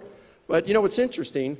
Uh, you can find some text in the New Testament, for example, Philippians chapter 2, the kenosis hymn, in which Jesus is exalted, and it doesn't mention his resurrection. Um, but he does mention Jesus' death there. And because Paul mentions Jesus' resurrection in numerous other ways, and we see it in the early uh, kerygma, uh, that is the official apostolic preaching, we know that, that resurrection would have been involved in that. It's maybe like talking about the World Cup now and let's say South Africa wins, let's hope they do. Um, and let's say they win, maybe you don't talk about this blowout that happened today. What was the score? It was amazing. It was huge. You guys kicked some butt. It was amazing. So it, um, so these would certainly include death, as the Philippians 2 hymn does. Number two, he said Jesus died, uh, would have had to have died then if the, if the scriptures of the New Testament is correct, as a blasphemer and as a cursed one. Well, the Jewish charge was of blasphemy because of Jesus' statement before the high priest that he claimed to be the Messiah, the Son of God, and the apocalyptic Son of Man in Daniel 7, who would be worshiped and served as only God is served. In other words, he was saying, My Father and I have the same DNA. We're made of the same stuff, and I'm going to come back as a co occupant on his throne. That's why he was charged with blasphemy. Um, it doesn't mean he's a blasphemer. It only means you're a blasphemer if what you're saying is false. The Jews leaders didn't believe it. Did he die as a curse? Yes. So he could be an atonement for our sins. Number three, he argued about parallels in um, other dying and rising gods, and he mentioned two Mithras and Orpheus. But this is mistaken. There is no reference to a death or resurrection in Mithras anywhere. I challenge him to produce a primary source not an internet infidel um, who's published on there, and your only credential to publish on the web is you got to be able to breathe. Publishing on the web does not make you a world, world-class scholar by publishing on the World Wide Web. I want a primary source from antiquity that predates Christ that mentions a death of Mithras. He mentioned Orpheus. Orpheus did not die, but entered the underworld to rescue his wife, but he emerged without her. That, that isn't a resurrection, and there was no crucifixion. Orpheus was killed later when attacked by some women and torn to pieces. His head sang as it floated down the river. So I, I don't see where this really has anything to do to call into question the crucifixion of Jesus.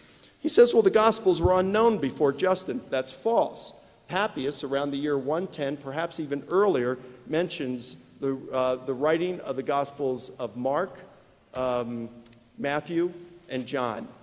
And then later on, it's Justin who mentions Luke. He says that Mark was not an eyewitness, no, but Papias does record that Mark recorded the memoirs of Peter. And this is, this is multiply attested. It's a unanimous voice within the early Christian literature. Then he said, Well, a crucified Messiah is a contradiction. And he said, You know, don't touch my anointed ones and do my prophets no harm. This is God's command. But just like in the Quran, there's no promise that people are going to keep God's commands. Um, he says, Now I know that the Lord saved his anointed. Yes, his anointed was saved from God's final and never ending punishment. Well, then he quotes uh, Hebrews 5 7, and I understand that this is a, a confusing verse for a lot of Muslims um, where it says that Jesus offered up prayers to God who could save him from death, and his prayers were answered. Ladies and gentlemen, I want to submit to you again that Yusuf has once again committed the cherry picking fallacy. Because if you continue to read through Hebrews, you find, uh, in the letter of Hebrews, you find numerous verses that talk about Jesus' death. For example, in chapter 2, verse 9, remember, this is the same letter of Hebrews 5 7, Hebrews 2 9. Jesus, because of the suffering of death, crowned with glory and honor, so that by the grace of God he might taste death for everyone. 2:14, just 5 verses later. Now since the children have flesh and blood in common, Jesus also shared in these so that through death he might destroy the one holding the power of death, that's the devil. Hebrews 13, 20 and 21. Now may the God of peace, who brought up from the dead the great shepherd of the sheep through the blood of the eternal covenant, Jesus our Lord. So we see that in Hebrews 5 7, it's probably referring to God's lifting of his final and never ending judgment. Um, number six, he said, he presents some sort of conspiracy theory between Pilate's wife and the centurion. Well, Yusuf's an attorney, so I'm just going to challenge him. You can't just make some kind of a wild conspiracy theory. Where's your first century evidence? Give us some. Another, until we see that, we can't take this seriously at all. Seven, he, can't, he says you can't say Jesus died. He, I can't say It's a problem because I can't tell the specific hour in which Jesus died. Well, if Yusuf, is that really a, is a big thing for you? Then tell me the precise hour that Muhammad received Surah 4. Um, finally, he talked a lot about the appearances and gave all these different kind of arguments and saying about the appearances and, and uh, uh, the, uh, the disciples doubted when seeing him, or they didn't recognize him. Look, listen, I'd be happy to address these. The resurrection of Jesus, the historical evidence, is my area of expertise.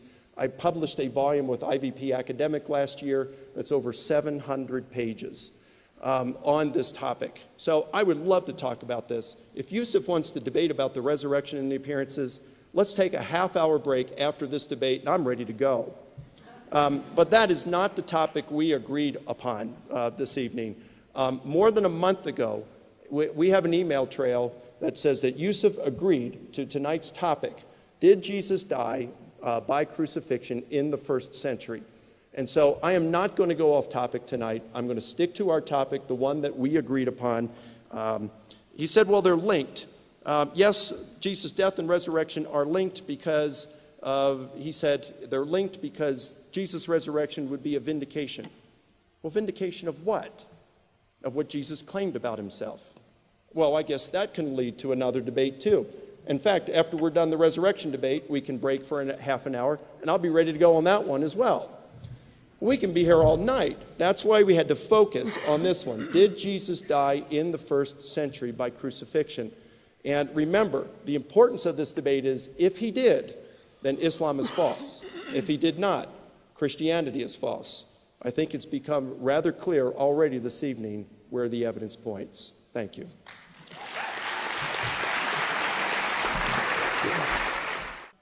For me, the main issue is Mike as, as for the main contention of the debate in terms of the crucifixion and the resurrection, the two issues cannot be separated.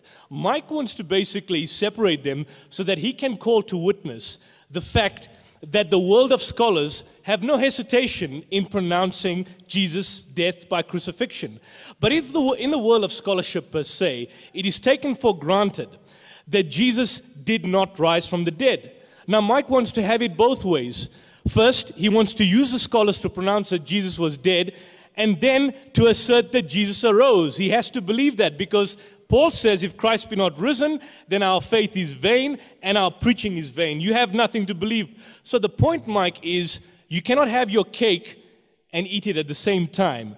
If a doctor pronounces a man dead and turns around only to be told that the man is still moving, would he still maintain his verdict?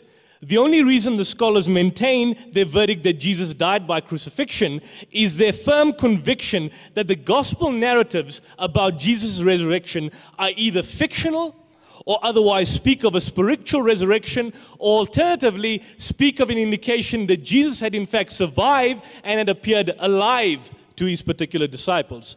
But Mike holds the physical resurrection as a historical event.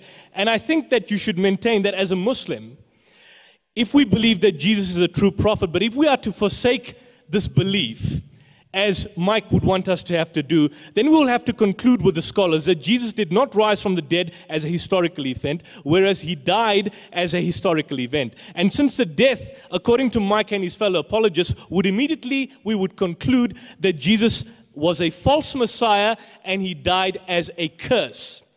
It's quite interesting that Mike says that I haven't dealt with the early accounts, but Mike, I did deal with it. If you look at the earliest strata of evidence, which he describes in 1 Corinthians, about Christ having died, I mentioned quite clearly that Paul has no knowledge and he's delivering, first of all, what he received from James and Peter. And the list of appearances that he basically presents are not in chronological order. I dealt with that, Mike. The second issue about the fact about the passion narratives being particularly credible. Well, let's look at this. Let's turn to the authenticity of the Gospels. Look at the evolution of the Gospels. Mark ends with, with verse 8. Chapter 16, verse 8. Verse 9 to 20 is thrown out as a fabrication, the account of his resurrection. There is no description of Jesus' reappearance. Matthew adds a reappearance to his disciples, but the latter doubt. Luke has them make sure. John increases the number of, of, of, appearances to the extent of removing Thomas from the Easter scene so that Jesus could appear the following week. Thus, we see that as we move from one gospel to the next, from earlier to later, the number of incidents and the number of witnesses increase. What about the crucifixion narratives? Mike says that the passion narratives are all credible. Are they? Look at this. It is at the crucifixion scene, for example, if you look at one gospel going to the next, you'd see that the number of Jesus' followers increase. His mother, for example, together with a male disciple, is mentioned only in John. Whereas in Mark and Matthew, the woman looked from afar.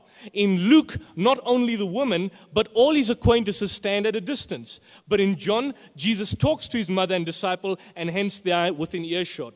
So, in sum, the, the later the gospel, the more the writer tries to show evidence of the death and resurrection of Jesus, and we need to basically deconstruct that. It's important in evaluating debates, Mike, that we bear our mind and objective in debating.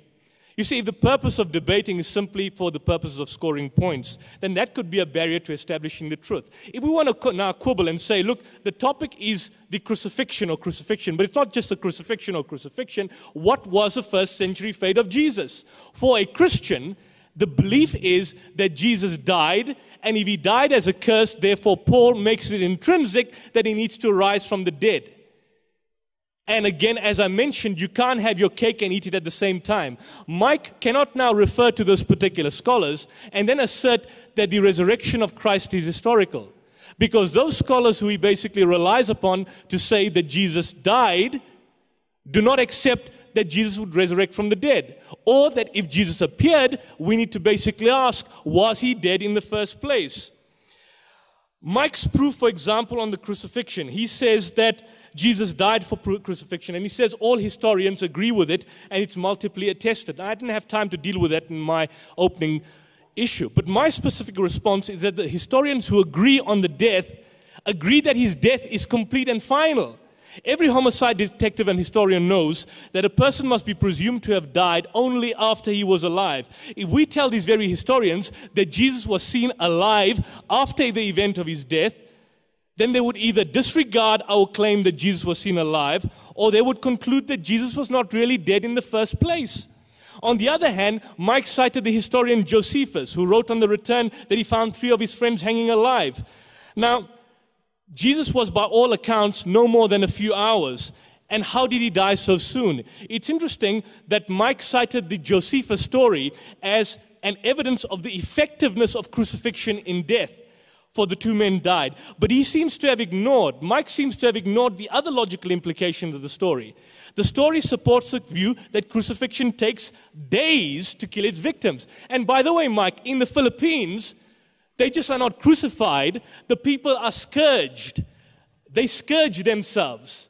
Some of them, you know, if you've seen um, the Da Vinci Code, you remember the Da Vinci Code, uh, the story about the Opus Dei, where people would flagellate themselves and they'd beat themselves. And that's what they do in the Philippines. And then they'll crucify themselves and they survive. Same thing that happened to Peter van der Berg. Mike conveniently does not discuss the spear thrust. The spear thrust, recorded in John's gospel, could have killed Jesus if the wound was fatal and if it was historical.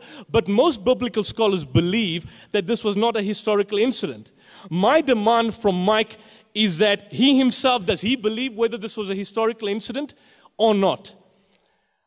I did not deny that this could have happened in some crucifixion, but all I want to know is did Jesus himself receive such a spear thrust or not? In the end, what many scholars postulate is that the spear thrust in John's gospel is taken by scholars to be an apologetic addition on the part of John for theological purposes. Why? Because if Jesus did not die, as you find the doubt in Mark's gospel by Pilate, then John says, Well, look, let me introduce a spear thrust to say that since crucifixion pierces no vital organs, perhaps he could have died by the spear thrust. But even there, according to Encyclopedia Biblica, at the time of the spear thrust, Jesus was apparently still alive. And again, Mike has not answered the question when exactly did Jesus die? It's inconsequential for a Christian to now wanting to know when did Muhammad receive Surah 4, verse 157, because that dates Christianity 600 years later. The theological distrust that Muslims have for Christians and Christianity is not the same as the theological distrust that a Christian can have for towards Islam. So it's a weak argument to now say, well, I don't know when Jesus was actually killed or when he died, but now by implication, can you tell me when Surah 4 basically came up? That's a poor argument. Mike went on to say that the Romans were expert executioners. But even so, at the time, mistakes were made. I gave you the post mortem reports where people were certified dead. Were there post mortem reports conducted in the first century? Were there any doctors to feel the stethoscope of Jesus to see he had died? Did the uh, centurion feel his pulse? Mike said he surmised. A case in point was given from Acts chapter 14 of the Bible where Paul was stoned and he was left for dead. But when the executioners left, what happened to Paul? What happened to Paul? Did he die? He got up and walked away. They were, of course, not Roman executioners, but the story nevertheless points to the inadequacy of the post mortem executions at that time. You can also cite the historian, Pliny the Younger, who complained of the human situation being as it is, that we often fail to know if a person is really dead. One may add the gospel description of the Roman centurion having expressed his conviction in the innocence of Jesus, and this would indicate that the centurion had no reason to complete the act of killing Jesus. The centurion believed in Jesus. Why would he now want to go out of his way to ensure that Jesus be killed? Why would Pilate want to go out of his way? Yes, initially he didn't want Jesus to be killed. He found no fault in this man. His wife was having nightmares and they threatened to blackmail him. But there was a thunderstorm, there was an earthquake. And Mike again has not dealt with the issue of what I had suggested when they came to the governor and they said, Secure the sepulchre, lest the last error be worse than the first. What was the first error, Mike, and what was the last error? Deal with the issues at hand in respect of the idea of the gospel of the accounts being multiply attested, again, I've dealt with this particular issue. The unsympathetic reports, my God, my God, why have you forsaken me? Well, if on the one hand, Jesus prophesies his death, and you've given um, the particular accounts, I believe, in Mark's gospel and a number of other passages where Jesus says he's going to die and be raised on the third day, and he prophesies his death, then why is it that at the time of his alleged death, he asks God or he tells him, God, why have you forsaken me? What was he suggesting? Why does he go in the Garden of Gethsemane and pleads to God to take this cup away from me? Nevertheless, not as I will, but as thou wilt, submitting his will to the will of God. In addition to the question about the death of Jesus, I've also mounted a serious objection to Mike's other points, which he has not acknowledged.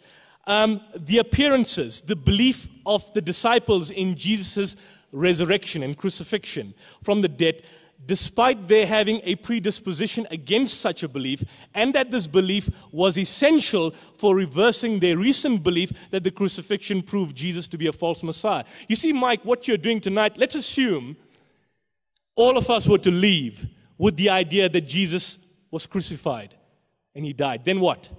He died as a blasphemer. That's it. Finish it for me. It's like this, Mike. You need to deal with both the issues at the same time. You're using the, the, the, historians to cite the historicity of the crucifixion, but you're not completing it. You don't want to deal with the issue of the resurrection, which is intertwined, because historically, you cannot prove the resurrection. And that's the point that we basically deal with. You have to have the two. It's like playing football or playing rugby, and each side is playing soccer and playing rugby against each other, and no side wants to score a try or no side wants to score a goal. Excuse me. So the point I'm trying to say is you cannot have your cake and cannot eat it at the same time. In one of his previous examples in his books, I believe Craig has cited Michael Grant and Gerd Ludemann in support of one of his particular views in terms of the later appearances. But these scholars hold that the appearance to the disciples was anything, nothing less than a subjective belief in that particular point. what about the Quranic depiction of the, of the crucifixion? Mike argues that one of the most egregious errors in the Quran is its denial of the crucifixion. And in response, I have argued that the Quran cannot be proven incorrect on this particular score. On the other hand, I have offered a plausible interpretation on this particular verse, one that takes into consideration the multiple uses of the term crucifixion, in which the Quran says that they kill him not in the ordinary sense, nor did they kill him by means of crucifixion. It's important, Mike, that Mike thinks that he has early evidence in respect of the claim of Paul. But it should be noted that it's only a scholarly guess that Paul got the information a few years after the crucifixion event. Even Paul himself declares that he does not get the teachings from any man, but by a revelation. And so, hence, we cannot confirm or be certain that he's reporting certain facts as historical and distinct from revelatory information.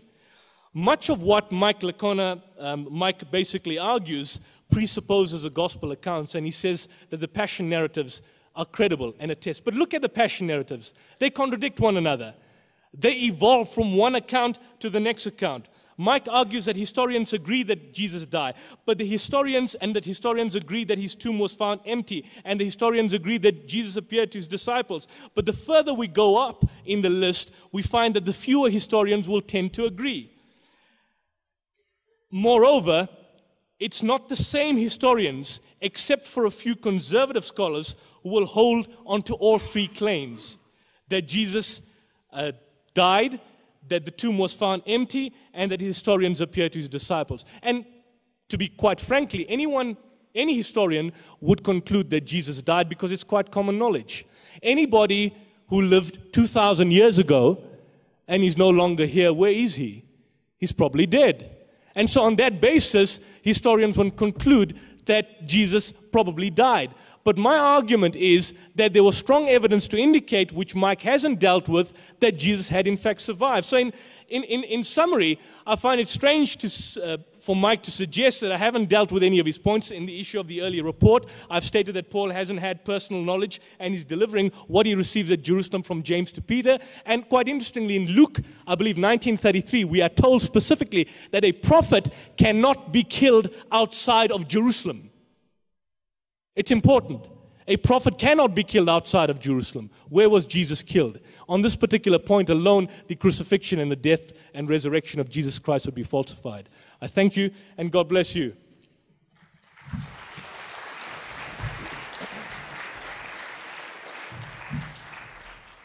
Okay, thank you, Yusuf. Well, in my opening statement, remember I said tonight I would be uh, making two major contentions. Number one, there are good reasons for holding that Jesus died by crucifixion, and number two, there are no good reasons for denying it. I'd like once again to review those two contentions in light of what Yusuf has just said. Let's start with my first one. There are good reasons for holding that Jesus died by crucifixion. And here I provided six reasons. First, the reports are early. Now, he replied now that Paul had no knowledge firsthand uh, uh, in this creed in 1 Corinthians 15. He got it from Peter and James. I appreciate that because we got eyewitnesses. He's mentioned that, that Peter and James would have been eyewitnesses if they'd seen Jesus. They were his original disciples. They're the ones that passed the information, and it says he appeared to Cephas or Peter, then to the 12, then to more than 500, then to James, then to all the apostles, and then Paul adds his own name to the list. So we got Peter and James on there. We've got eyewitnesses that they saw Jesus risen from the dead. Then he said that there were the appearances in 1 Corinthians aren't in order, um, and Mary's omitted. Well, the reason that Mary's omitted is because this is kerygma. This is the official formal proclamation of the disciples. And when you're talking publicly like this, the view of women in the first century was very low. It's different than it is today. So, for example, Josephus says, Blessed is the man whose children are male. Woe to him whose children are female. He also says, Better the law of God, or this is what the Talmud says, better the law of God be burned than placed in the hands of a woman. Burn it all. So the view of women was quite low. And in fact, even when you get to the Gospels, like the Gospel of Luke, Luke reports that when the women came back and said from the empty tomb and said they saw angels and that Jesus had been raised, um, that the disciples didn't believe him. Why? They thought they were the women were telling frivolous tales. The Gospels report that Jesus had brothers, four of them, and they named them. Um, he reports that they had sisters as well, but they, we don't know how many sisters he had, and we don't know their names. Why? Who cares? They were women. Now, when you take that into consideration, of course, when you're going to give the official and formal proclamation publicly, you realize that you're not going to get any kind of uh, mileage by mentioning the women. So you just brush them out. You don't mention them. Well, what about, um, so that's why you don't mention Mary. Um, if the creed came from uh, Peter and James, um, then why would you, since he's just said that the Gospels were, were propaganda uh, that were increasingly trying to prove the death and resurrection of Jesus, so he's going to undermine those. Look, I mean, we could argue on that. I said in my opening statement, I wasn't here to defend the historical reliability of the Gospels. That's another debate. We can have a fourth one this evening as well. But I'm not going to debate that and, and defend that right now. All I can say is, I'd say to him, well, if you don't like the Gospels, go with the earlier material. And this creed is very early, it's the earliest thing we have. He says, um, uh, okay, only a scholarly guess on when this thing was done. Well, not really, because we know that Paul started the church in Jerusalem in the year 51, around that time, and he's writing Corinthians at the latest, 55, 56. And so when he says, I delivered to you in the past tense, when? 51 when he started the church. What I also received before then. So he gets this material before 51. So it's within 17 to 20 years of Jesus' crucifixion. Um, so it's very early, and he's getting it from the Jerusalem apostles who would have been eyewitnesses. This is quite early stuff. In fact, this creed is the stuff, it's the kind of stuff historians drool over. It's, it, it's so based in history. Paul said he did not receive the gospel from man, but from God. From Galatians 1, Yusuf argued. That's correct. He received the gospel from God. But when he says, I delivered to you what I also received, he's talking about the actual form of the oral tradition, the way it had been put in this formula, then the parallelism and all of this that we can see and why scholars um, acknowledge or grant this as oral tradition. Like we could get into that. That's well, it is a lot of fun. Um, he said, well, okay, Mike mentioned uh, Josephus uh, and, and Wars, book 4, ver, uh, uh section 317, where it was different in Jerusalem. And he said, well, Mike cited Josephus as evidence for Jesus' death. No, I didn't. His argument, I had argued that there's a very low probability of crucifixion. He came back and he said victims last up to three days. I came back and said, no, not in Jerusalem. So that had nothing to do with me arguing for Jesus' death there. It's response to his argument that crucified victims would have lasted a long time. Jesus only lasted a short time, and so therefore we should have doubt that he actually died. He said, well, people in the Philippines, people scourge themselves, like in the Da Vinci Code. Wow, what a great source to appeal to. Um, come on. Do you really think that these guys are going to put all the gusto into it that the Romans did to the point where after scourging someone, they're going to look like they're maimed, misshapen, deformed? And you have others that report, like, for example, uh, Josephus reports that when the Romans scourged people, they came out with their, their intestines showing. Um, in fact, he reports of a guy who the governor, a couple times uh, successors after Pilate, scourged a guy, another guy named Jesus, who just before the, the temple was destroyed, um, went around proclaiming that the temple was going to be destroyed. And so they filleted him to the bone with scourges. This is not the kind of stuff that you see in Da Vinci Code or what the Filipinos do. Well, I said number six. Jesus' prophet uh, is a true prophet who prophesied his imminent death. And so he said, Well, why did Jesus say, God, why have you forsaken me?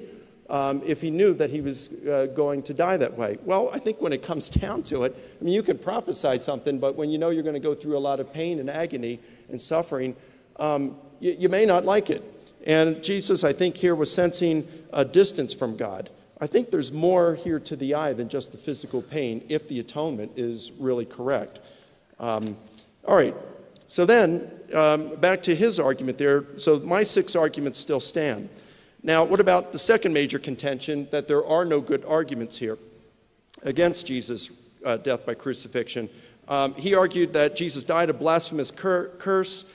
Uh, and um, I responded that the Jewish charge of blasphemy means that Jesus claimed uh, deity for himself. And he says uh, the charge of blasphemy. Um, Mike, finish it. Don't just stop at it, finish it. If Jesus rose from the dead, then show that he rose from the dead. Uh uh-uh. uh, he's not pulling me off on that rabbit trail. This debate is not on the resurrection of Jesus. This was clearly articulated and agreed upon by both of us. I'm not going off track. I will wait around. And if he wants to have a debate a half an hour after this one, I will be here and very happy to do it. Um, now, then he says, well, Paul left. Um, darn, I can't read my, my, my writing there. I'll have to skip that one and maybe. Um, oh, Paul was left for dead, but he wasn't dead. Well, it was illegal for Jews at that point to kill. Um, only the Romans could kill. Remember, they said that uh, at the trial of, uh, with Pilate, it's unlawful for us to kill someone. Um, it didn't come until later on that the Jews were allowed to do this, much later, decades later. So this was an illegal stoning that was going on, and it was just a botched or failed attempt. No one was there to certify this guy was dead because they knew what they were doing it illegally. He said, well, the spear thrust was not historical, and, and many historians agree. Yeah, many historians do question it. But Quintilian, a Roman historian from the latter part of the first century, talks about how the Roman executioner uh, should not be forbidden to pierce the crucified. So we see that there is historical precedent to show that this could have occurred. And because John was an eyewitness um, to this, or whoever the author, whether it was John or the beloved disciple, minor disciple, there's no reason to question this. Um, yes, there's some theological implications, but that's okay.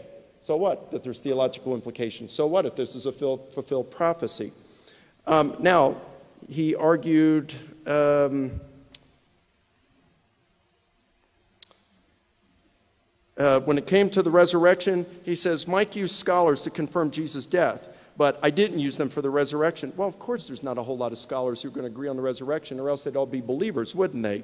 Um, but I think that this isn't a lack of evidence. It's because they're allowing their metaphysics, their worldview, to guide their historical investigations. Besides, I'm not arguing that Jesus is, was dead because scholars agree. Don't misinterpret me there. I'm saying that the evidence for Jesus' death by crucifixion is so good that it has led scholars to agree that he was dead, even of very skeptical stripe. The, the, the secure tomb, he said, well, Mike has to answer. What about the secure tomb? Well, the disciples um, were, it, they secured a tomb so the disciples would not steal the body, not so Jesus could get up and kind of walk out and show himself around. So it's, it's totally different there. So it looks like uh, I've got a little bit of time. Do I have any from the other one left over? Because I know I did. No, I didn't. I didn't go over in the last one. I had some time remaining. Thank you very much. Thank you, Mike. Thank you once again for that delightful uh, rebuttal.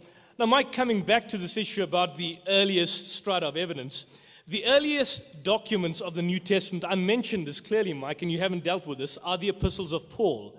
And most scholars would suggest that they were written in about the year 55 to 64 of the Common Era. How many years later would that be after the crucifixion? Let's assume someone dies now, or someone is shot, or someone is killed or hanged. 30 years from now, would a person writing 30 years have the exact same account in terms of the person who resides or was present at the particular incident? Of course not. So when Paul wrote the accounts, there were further no gospels present. This means that the accounts of Jesus' crucifixion and his resurrection were by and large unknown to Paul and his particular readers. And Mike hasn't particularly dealt with this particular point. Mike, it's no good saying that we can have another debate um, maybe in the next half an hour. Deal with the issues here. You cannot separate the issue of the crucifixion and the resurrection. If, on the one hand, you suggest that Jesus was crucified and he died, then he died as an accursed death. And if you want Muslims to just simply believe that he died an accursed death, then we are going to basically believe he died a rejecter, a, a blasphemer, and he was basically eliminated, as a result of which there's no reason to basically believe in Jesus. So I would suggest that Mike needs to basically stand up and encourage Muslims to believe in the Quran, because by believing in the crucifixion and by accepting the fact which Mike's, Mike accepts that Jesus died an accursed death, he's actually asking Muslims not to believe in Jesus. It's no issue now coming and saying, well, it's, let's deal with the issue of the resurrection later. This is just the issue of the crucifixion. The topic is, what was the first century fate of Jesus? Was he crucified? Did he die? Did he survive? Did he rise from the dead? The issues are intertwined. Deal with the issues at hand, Mike. Don't say, let's come back and have another debate on the particular point and then basically appeal to other issues at this point in time. I believe they're intertwined, and so on that basis, I would submit that we're dealing with the same thing. Now, Mike uh, mentions um, the issue of scourging. And so, as a result of that, because of the scourging, Jesus died. But that's interesting, isn't it? Because this issue of Jesus being scourged and beaten up so badly, as you saw in Mel Gibson's narration, The Passion of the Christ, would give you an indication that someone who received such forms of beating and torture would have died in any event. Rather, a more accurate depiction of Jesus' crucifixion is what we could see probably in the video which is distributed by Campus Crusade, uh, Jesus of Nazarene. Uh, of Nazareth, basically, which gives a far more accurate account. But it's interesting that Mike has to appeal to the issue of the scourging in order to postulate the idea that Jesus died by crucifixion. Why, why appeal to scourging? Why appeal to scourging? he's basically saying, well, he's subjected to extreme torture, therefore the probabilities of him dying were higher. But that's not exactly what the gospel is basically. In order to postulate a position, you want to introduce a new narrative to say he's subjected to torture, as a result of which the probabilities of his death were increasing, and so he, in all probability, died. Now, let's look at one particular issue, which I'd probably draw people to. If you look at, um, I haven't brought my Bible, I've got my Bible here. If you look at 1 Corinthians, um, where Paul asks the rhetorical question, someone may ask, How are the dead raised and with what body do they come? And he gives the rhetorical answer that so is the resurrection of the dead. It is sown a natural body, it is sown in corruption, it is raised in incorruption. It is sown in dishonor, it is raised in glory. It is sown a natural body, it is raised a spiritual body a spirit. There is a natural body and there is a spiritual body. Now, if you look at just one particular post crucifixion appearance, the appearance of Jesus to the upper room in Luke chapter 24, verse 36. And Mike hasn't dealt with any of these points. Mike hasn't dealt with any of the issues pertaining to the appearances where I said that the disciples express a significant amount of doubt. It's intertwined and linked to the particular topic, but let's deal with this specific issue. When Jesus goes to the upper room, and he tells his disciples, Peace be unto you. We were told that they were terrified. Now, why would the disciples of Jesus be terrified? The writer says, Because they thought he was a spirit. My question is Did Jesus look like a spirit? Did he? And the answer is no. So, why did the disciples of Jesus think that the man is a spirit when he didn't look like one? Why? And the answer is quite obvious that the disciples of Jesus were not eyewitnesses or ear witnesses to the happening. They had heard from hearsay that the master was hanged on the cross. They had heard from hearsay that he had given up the ghost. They had heard from hearsay that he had died and was buried for three days. All their knowledge was for, from hearsay. And so naturally, at the last juncture of his life in Mark 14 50, we are told that at the most critical juncture, all his disciples forsook him and fled. And now he appears before them. And so naturally, they think he's a spirit. So, what does Jesus say? He says, Behold my hands and my feet, that it is I myself. Why would Jesus say such a thing? Behold my hands and my feet, that it is I myself. Handle me and see, for a spirit has no flesh and bones, as you see me have. Now, in somebody's language, if someone says that a spirit has no flesh and bones, does it mean that it has flesh and bones? In other words, if we are to look at this particular account, and I'm not atomizing the text, look at it in its particular context. Jesus was saying that the body that they were seeing was not a translated body, was not a metamorphosed body, it was not a resurrected body, because the resurrected bodies are spiritualized. Who says so? Paul. Who says so? Jesus. When the Jews come to question him about the lady with seven husbands, what's going to happen in the afterlife when they all want to have her there, Jesus says, Neither shall they die anymore because they shall be equal unto the angels. They will be angelized, they will be spiritualized, they will be equivalent to spirits. And here Jesus is saying, A spirit has no flesh and bones as you see me have. Mike, what's he trying to say? Why is he saying specifically that? And not only that, he goes on further. They said, While they yet believe not for joy and wondered. What does he then say? Have you anything to eat? And they gave him a piece of broiled fish and a honeycomb, and he took it and he ate. To prove what? What was he trying to prove? Albert Schweitzer, in his book In Quest for the Historical Jesus, said that if Christ had only eaten to show that he could eat, it would be something docetic, a make pretense. What was he trying to indicate here? And they gave him a piece of broiled fish and a honeycomb, and he took it and he ate before them. A spirit has no flesh and bones, as you see me have. What about John's account? In John's account, we are told that when Mary Magdalene comes to the tomb, we are told that she goes to anoint him. Anoint him means to rub, to massage. We know that in Jewish custom, there's no massaging or anointing the dead body after three days. And rigor mortis sets in. If anyone wants to anoint a dead body, it will fall to pieces. And she goes up to the tomb, and when she comes there, um, she knew not that it was Jesus. Now, why could Mary not identify Jesus? Was there an issue about not identifying resurrected bodies? Why is it that Mary Magdalene, one woman, was not afraid? She was there at, at, at, at, Golgotha, at Calvary, when, when Jesus was crucified. But 12 men were terrified, or 11 men were terrified. Why is it one woman was not afraid, but 11 women were terrified? And then Jesus said unto her, Woman, why weepest thou? Whom seekest thou? She, supposing him to be the gardener, do resurrected bodies or people who have um, died by crucifixion and raised from the dead, do they look like gardeners? Is it possible that he could have been disguised as a gardener? Why was he disguised as a gardener? Is it possible that he, could, he didn't die and therefore had to be in constant disguise? And she then says, Sir, if you have borne him, tell me, where hast thou laid him? Not where have you buried him, where hast thou laid him so that I might take him away? How would Mary take Jesus who was dead away? How? One woman? And then Jesus said unto her, Mary. Um, and then she recognizes the voice print and she lunges out to grab him. And what does he say? He says, Touch me not. Why not?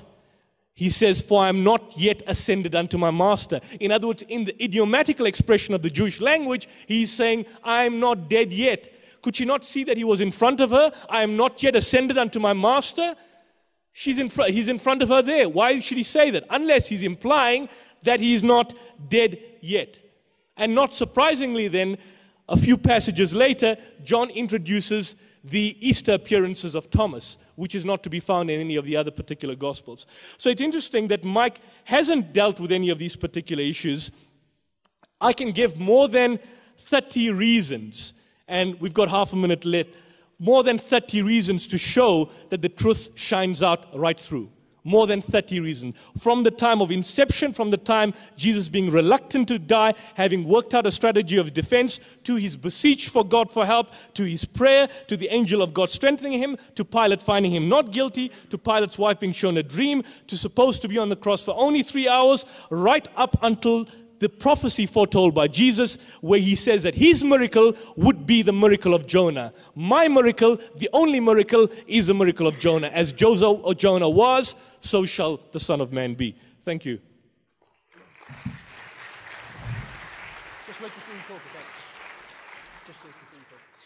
All right, we will now have, uh, Mike will have a chance to give his closing statements. He'll have five and a half minutes for, for his closing statement because he had the first word. After that, Yusuf will have the last word. Well, thank you, Yusuf. This has been very enjoyable this evening. Um, again, remember in my opening statement, I said I would be defending two major contentions this evening. First, there are good reasons for holding that Jesus died by crucifixion. And second, there are no good reasons for denying it. So I just want to kind of wrap this up. I presented six reasons. Now, the only ones uh, that six that um, I need to address is the early one, because Yusuf hasn't responded to those others after my rebuttals. The early, he came back in his second rebuttal here and said that the Gospels were unknown to Paul um, be, and because they hadn't yet been written. That's right. That just shows how early this was. And here he is talking about how the Gospels had legend and stuff in it. Well, I'm giving him the earliest information, and he doesn't seem to like that either because it doesn't agree with the legendary stuff later on. I don't get that. Um, the gospel or the gospels were based on the traditions about Jesus, um, but Paul got his information from the eyewitnesses who would later form this tradition. So again, it's pre-Pauline, which means it's very early. Um, he still didn't answer my uh, sixth argument too about the uh, Jesus was a prophet who prophesied his death. If he actually died by crucifixion, then Islam is a false religion. If he died by, I'm sorry, if, yeah, if Jesus did not die by crucifixion, Christianity is a false religion. If Jesus died by crucifixion, uh, Islam is a false religion. Now, um, about uh, some of the arguments he gave on the, uh, the other side here about arguments uh, to deny Jesus' death by crucifixion, he said that Jesus tells Mary not to touch him because he had not yet ascended. Um, so he wasn't dead. Well, take it within the context. Stop committing the cherry picking foul. Ladies and gentlemen, there's enough cherries being delivered here this evening. I hope you like them because there's enough to go around for everyone. When you look at the statement here in the context, this is immediately after the angels said that Jesus has been raised from the dead. So if you're going to take this thing about Jesus saying, I haven't sent it to my Father yet, why are you going to accept that but not the proclamation of the angels that he's been raised from the dead? Now, the one I did forget that I didn't see in my last uh, one that I couldn't make out is that when Jesus died, uh, he wants to know from me when Jesus died, and he said he didn't like my argument that, um, well, you tell me when Surah 4 was written. He says that's a poor argument. I agree. I'm giving it to show the ridiculousness of his argument there. It doesn't really apply. Okay, he says there's an issue with did Jesus die? Did he rise? No, this isn't an issue. I showed how we can deal with these separately. Um, and um, I checked with Johan a little bit just before the debate, and he confirmed that he sent an email to um, Yusuf confirming that this is what the topic of tonight's debate was going to be on Jesus' death by crucifixion. The natural versus the spiritual body. Um, and he says, look, the disciples thought that this was a spirit. Why would they think it was a spirit? um, they thought Jesus was dead, but he appeared to them in body. Um, no, that would have been a resurrection body. Every single account that mentions this, like Luke, like Matthew, like Mark, like John, like Paul, they talk about the bodily resurrection of Jesus. And in um, 1 Corinthians 15 44, that it's sown a natural body and raised a spiritual body. I looked through all the extant Greek literature from the 8th century BC through the 3rd century. That's 1100 years, 11 centuries, there are 846 occurrences of the term psychikos, which means natural. Um, there are 1,130, I think, occurrences of the term pneumatikos for spiritual. Uh, psychikos does not mean physical. He was right in saying it's natural. So it's not a uh, contrast between physical and, uh, and spiritual, Im- uh, material versus immaterial. That's not what Paul's saying here.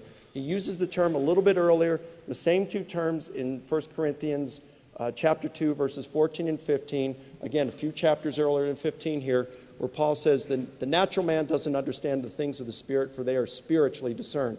In other words, it's kind of like a, you know, Paul is giving out free t shirts to the members of the church at Corinth saying, um, the wisdom of God here. And then when you look on the other side, it says, you wouldn't understand. It's a spiritual thing. So that's what's going on here. It's not, uh, again, comparing the material with the immaterial. That's a misreading of the text. So um, it looks like I've answered all of them here. Um, I appreciate your attention this evening and, and, and you guys sitting through this, but I think it has become abundantly clear where the evidence points. Jesus died by crucifixion in the first century. But I do want to say, since Yusuf does want to deal with the resurrection, I will say this it didn't end there. There's some really good news. Jesus did rise from the dead. And I'll wait because there will be, I'll wait around for 30 minutes, and if Yusuf wants to debate on it, I will be here. Thank you.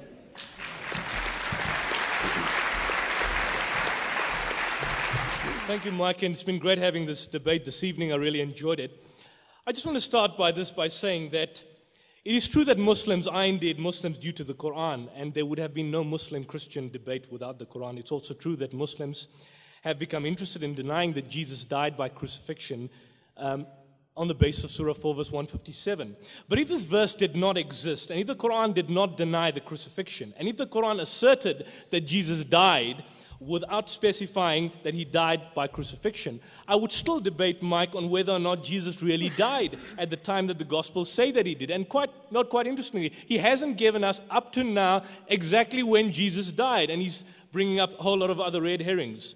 For even in that case, he could have survived the cross and died later. The question by his death is raised not only by the Quran, but by the claim that he was raised from the dead and by the failure of the Gospels to con- present convincing evidence that Jesus was really dead to begin with.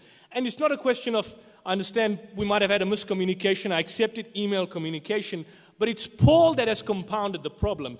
Paul made the resurrection of Jesus the, uh, from the dead the crux of Christianity. For him, everything stands or falls on one question Did Jesus really rise from the dead? Paul, however, declared that Jesus died as a curse for us, which means he is admitting that Jesus died under the curse of God. Now, if Jesus died under the curse of God, what reason do we have to believe that God would vindicate a person who died under his curse? None.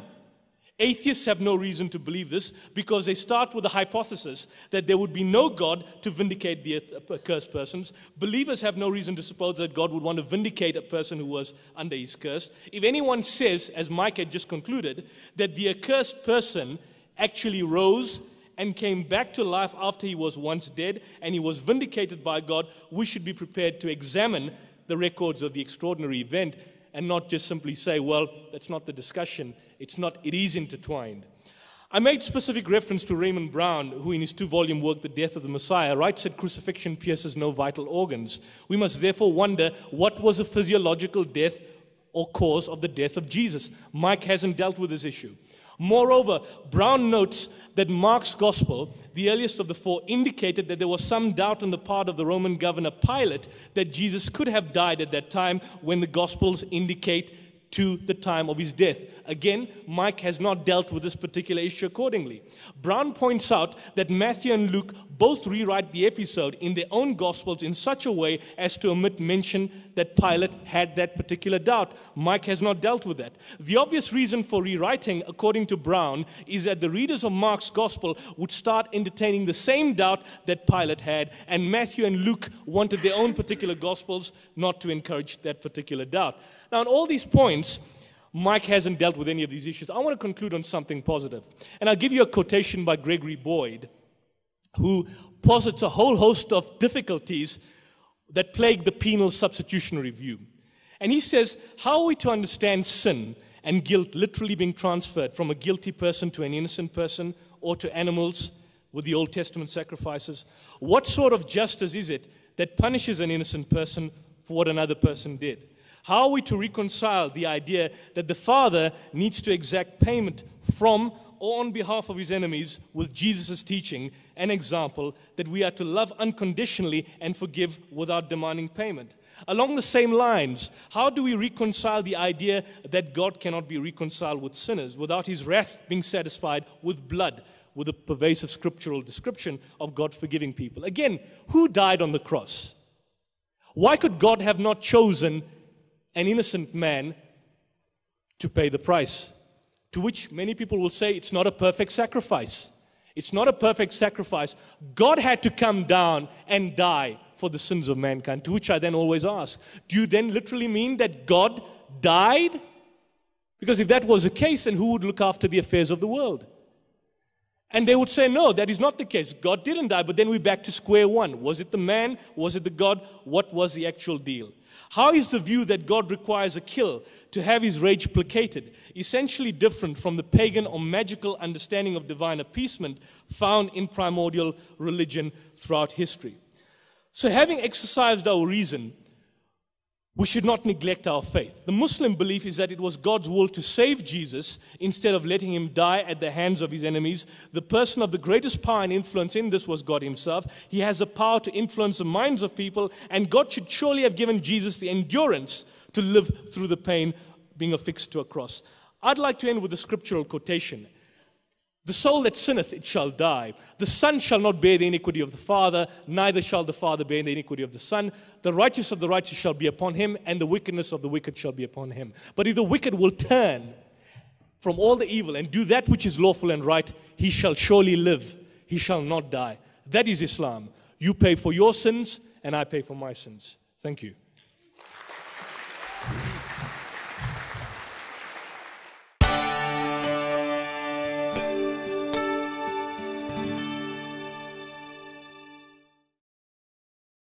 Century?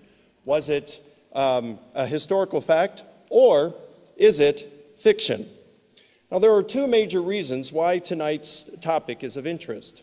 First, the early Christians made it uh, something that was the heart of their proclamation of the gospel. If Jesus died on the cross, then according to Christianity, that means our sins can be atoned for. But if Jesus didn't die on the cross, then that means there's no atonement for sins. Moreover, if Jesus didn't die on the cross, there's no resurrection from the dead. Jesus didn't rise from the dead.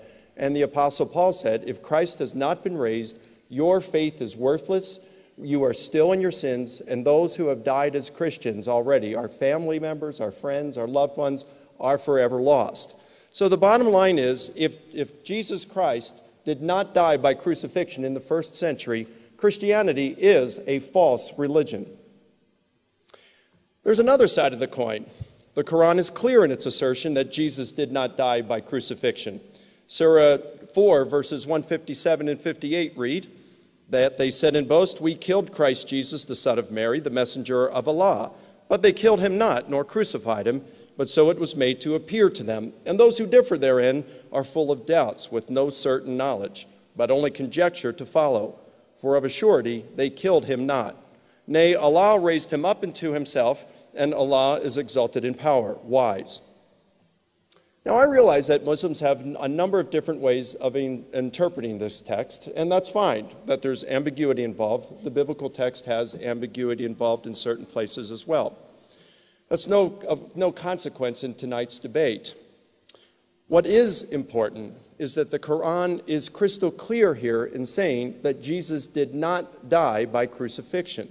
Thus, if Jesus actually died by crucifixion in the first century, um, Islam is false because the foundation upon which it rests collapses. So, whereas tonight's debate uh, will not confirm either Islam or Christianity, it certainly has importance in terms of disconfirmation. If Jesus died on the cross, it disconfirms Islam. If, it, if he did not die on the cross, it disconfirms Christianity. So, how should we proceed? Muslims and Christians have fundamental differences when it comes to Jesus. Muslims base their view on the Quran, while Christians base their view on the Bible. Arguing that my book is correct and yours isn't really isn't going to get us very far, unless we can give evidence why one report is uh, accurate and the other isn't.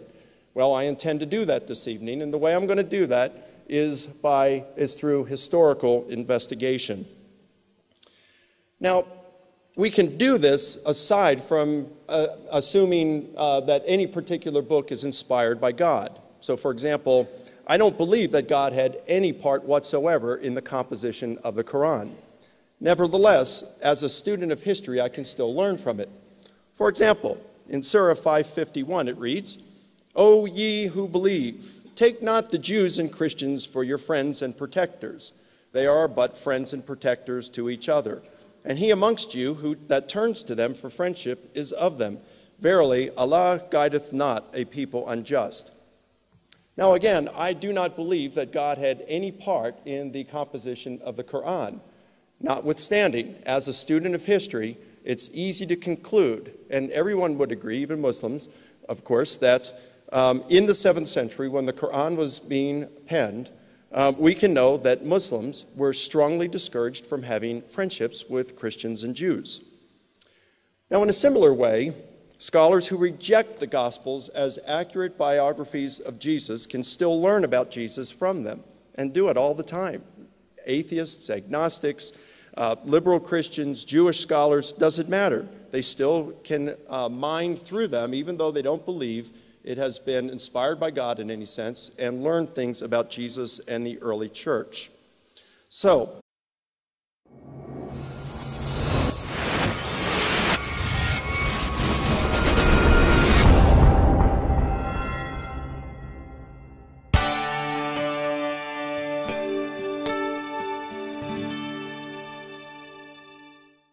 Tonight's debate is, is politically very incorrect because in a time such as we're living in, um, where you don't believe in the absolute truth, we should just live and let live.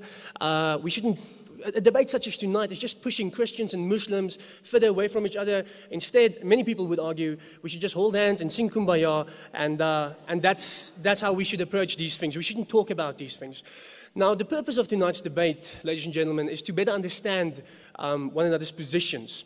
Um, and the, it's, it's going to be a civilized discussion. I hope it's going to be a civilized discussion.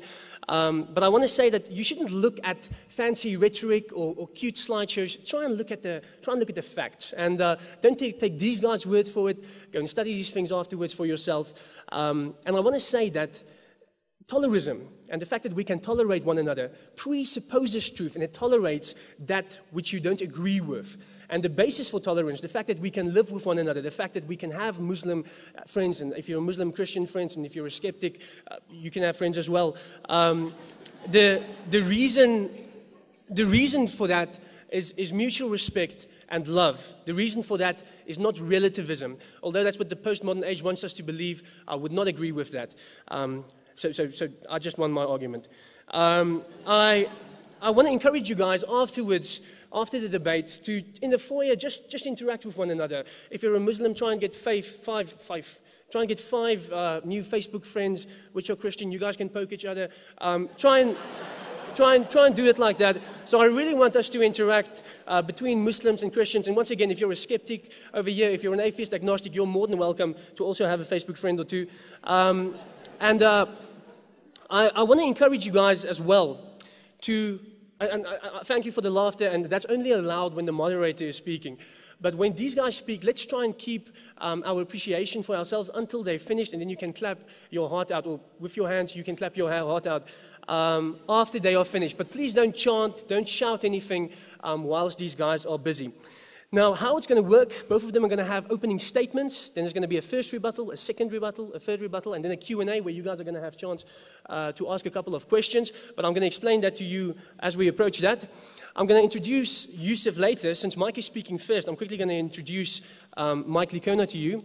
Mike Licona has a PhD in New Testament studies from the University of Pretoria, and we will forgive him for that. Um, he serves, it gets better, he serves as a research professor of New Testament at Southern Evangelical Seminary and as external research collaborator at Northwest University Potchefstroom. I think you can give him a hand for that. That's pretty impressive. Mike was interviewed by Lee Strobel in his book, The Case for the Real Jesus, and appeared in Strobel's video, The Case for Christ. He's the author of numerous books, including The Resurrection of Jesus, a new historiographical approach. Paul Meets Muhammad. He co authored with Gary Habermas the award winning book, The Case for the Resurrection of Jesus, and co edited with William Dembski, Evidence for God 50 Arguments for Faith from the Bible, History, Philosophy, and Science. Mike is a member of the Evangelical Philosophical Society the Institute for Biblical Research and Society for, of Biblical Literature. He has spoken on more than 50 university campuses and has appeared on dozens of radio and television programs. Ladies and gentlemen, Dr. Mike Licona.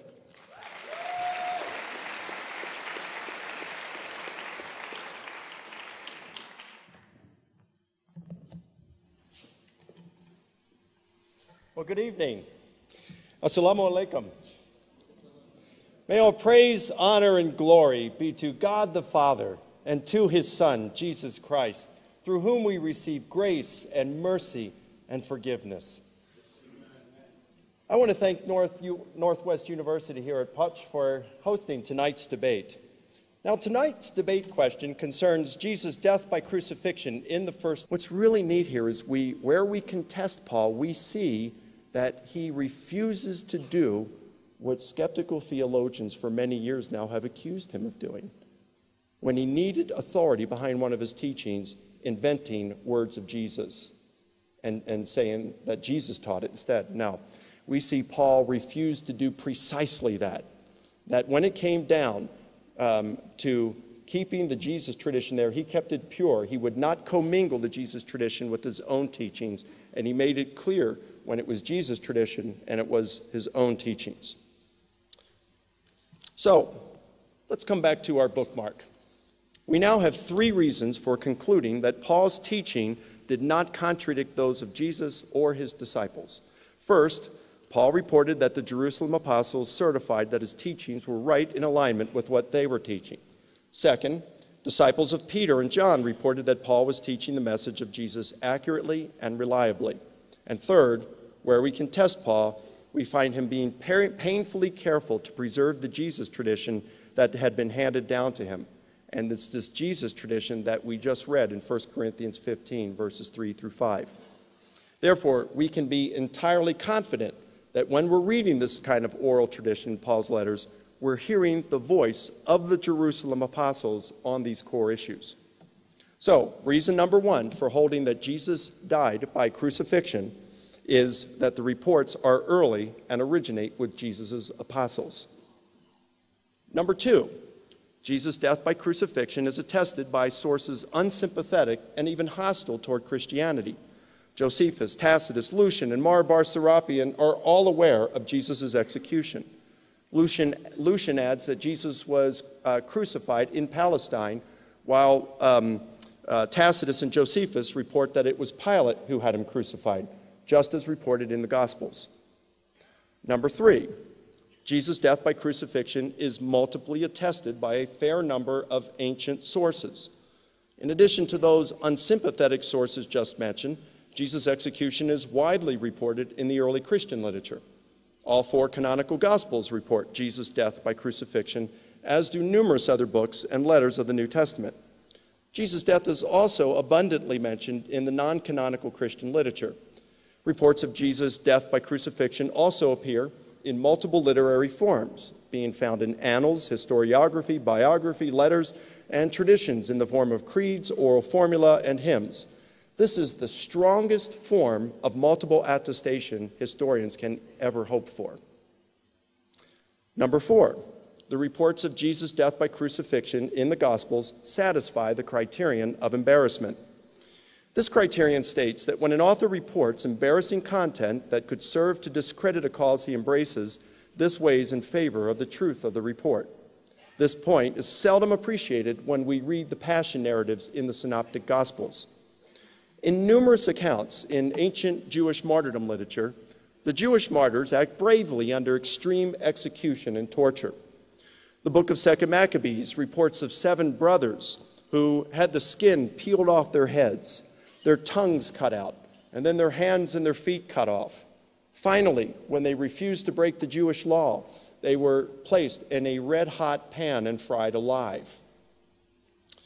While enduring their tortures, the brothers deride their cruel king, saying, Their body parts will be restored to them, but for you, O king, there will be no resurrection. Their courage and resolve are remarkable. But just as remarkable is the fact that several of the brothers are deriding the king after their tongues had been removed. Thus, we know that there can be some fictitious details in these martyrdom accounts. In the book of 4th Maccabees, Eleazar is whipped until his flesh is stripped. He then communicates that more painful than torture is the thought of compromising his character and becoming a poor example for the young, not been a disciple of Jesus during his ministry. And so he wanted to get the whole nine yards from those who had been. And who better than Peter, the closest, one, at least one of the three closest disciples? Then Paul says in Galatians 2 that 14 years after that, he returned to Jerusalem for a second visit. Now, we don't know if this is 14 years after this first visit or 14 years after his conversion. But basically, what we're looking at is 16 to 19 years after the crucifixion of Jesus. And he set his purpose for going up there, and he met with Peter, James, and John, the pillars of the church.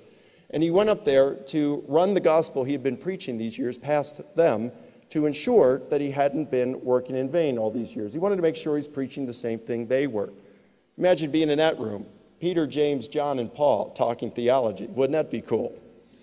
Now, here you got them talking about that, and Paul says they added nothing to what I had to say. In fact, they extended to me the right hand of fellowship. In other words, they were saying, You're good, Paul. Keep up the good work, the good work brother. Now, if that's all we had on it, of course, that's Paul's story. But if that's all we had on it, it would be difficult to know whether Paul was telling the truth or lying. Fortunately, we have some corroborative evidence. Clement of Rome and Polycarp. Hey, some pretty cool names for you students. You get married and you want to have kids someday, just remember those names Clement, Polycarp. You can name your sons that. So, Clement of Rome and Polycarp were probably disciples of the apostles Peter and John, respectively. And um, had Paul's essential teachings then been in contrast or contradictory to, uh, to that of Peter and John, we would have expected Clement of Polycarp to chide and correct Paul in their letters. And we have their letters, but we don't find them chiding and correcting Paul. Instead, we find Clement referring to the blessed Paul. In fact, in another chapter, he put, places Paul on par with his mentor Peter. Polycarp speaks of the glorious Paul who taught the message about the truth accurately and reliably. Polycarp then also quotes Paul's letters and refers to them as part of the sacred scriptures.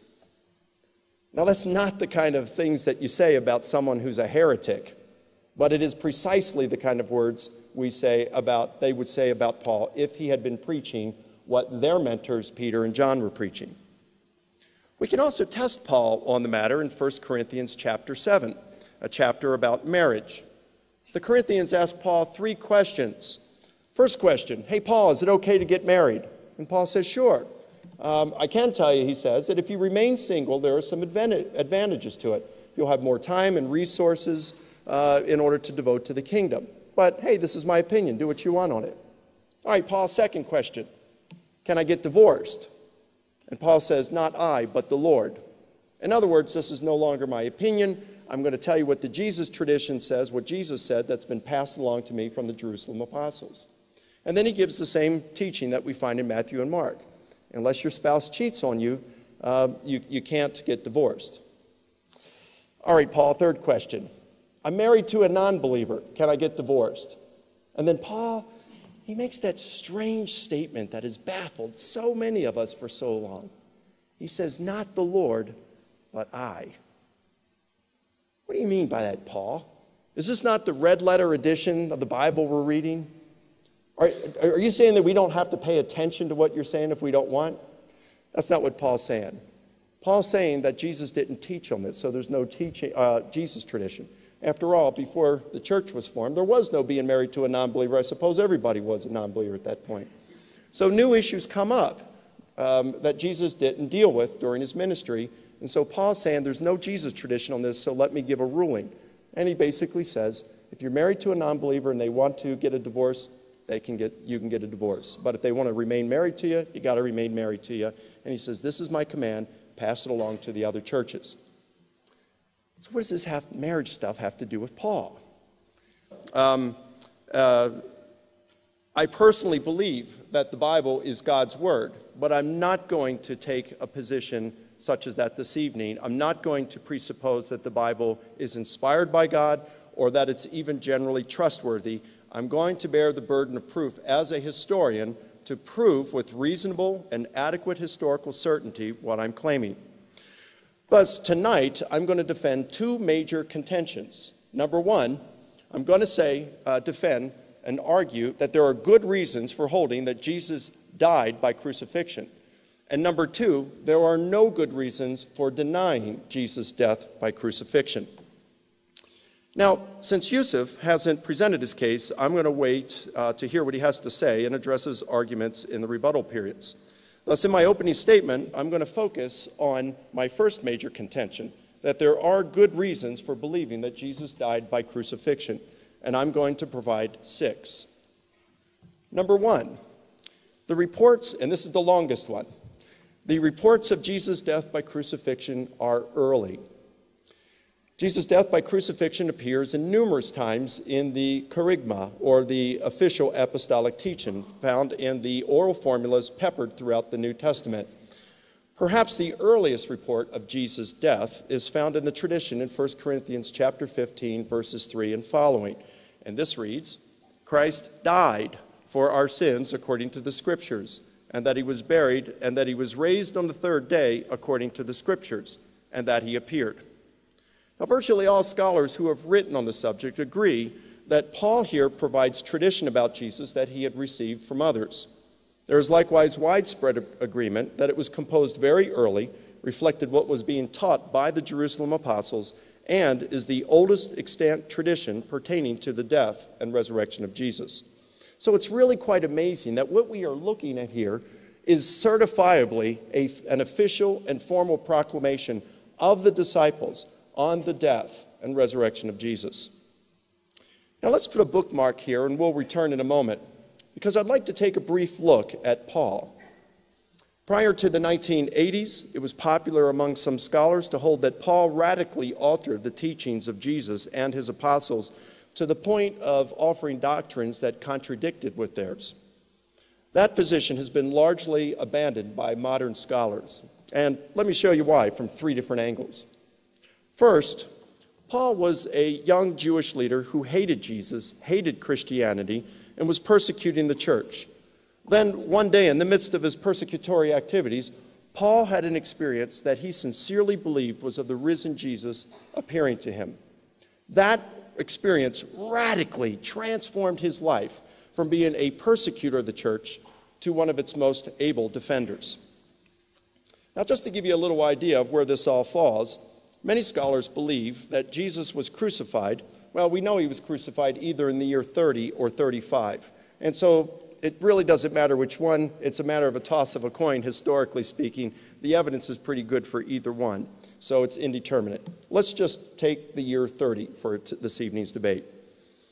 Many scholars likewise believe that Paul had his conversion experience one to three years later. So let's just call it two years later and say the year 32. Then, in one of Paul's undisputed letters, Galatians chapter 1, Paul says that three years after his conversion, or let's say 35, he went up to Jerusalem and he met with the leader of the church, Peter. And he said he also uh, saw James, the brother of the Lord. Now, it's interesting to note that the Greek term Paul uses here for meet or visit with Peter is historesai, from which we get the English term history. This suggests that Paul's objective for going to Jerusalem was not to just uh, talk, sit there and talk about the rugby games going on in first century Jerusalem. Um, but it was to talk about what actually happened with Jesus. Paul had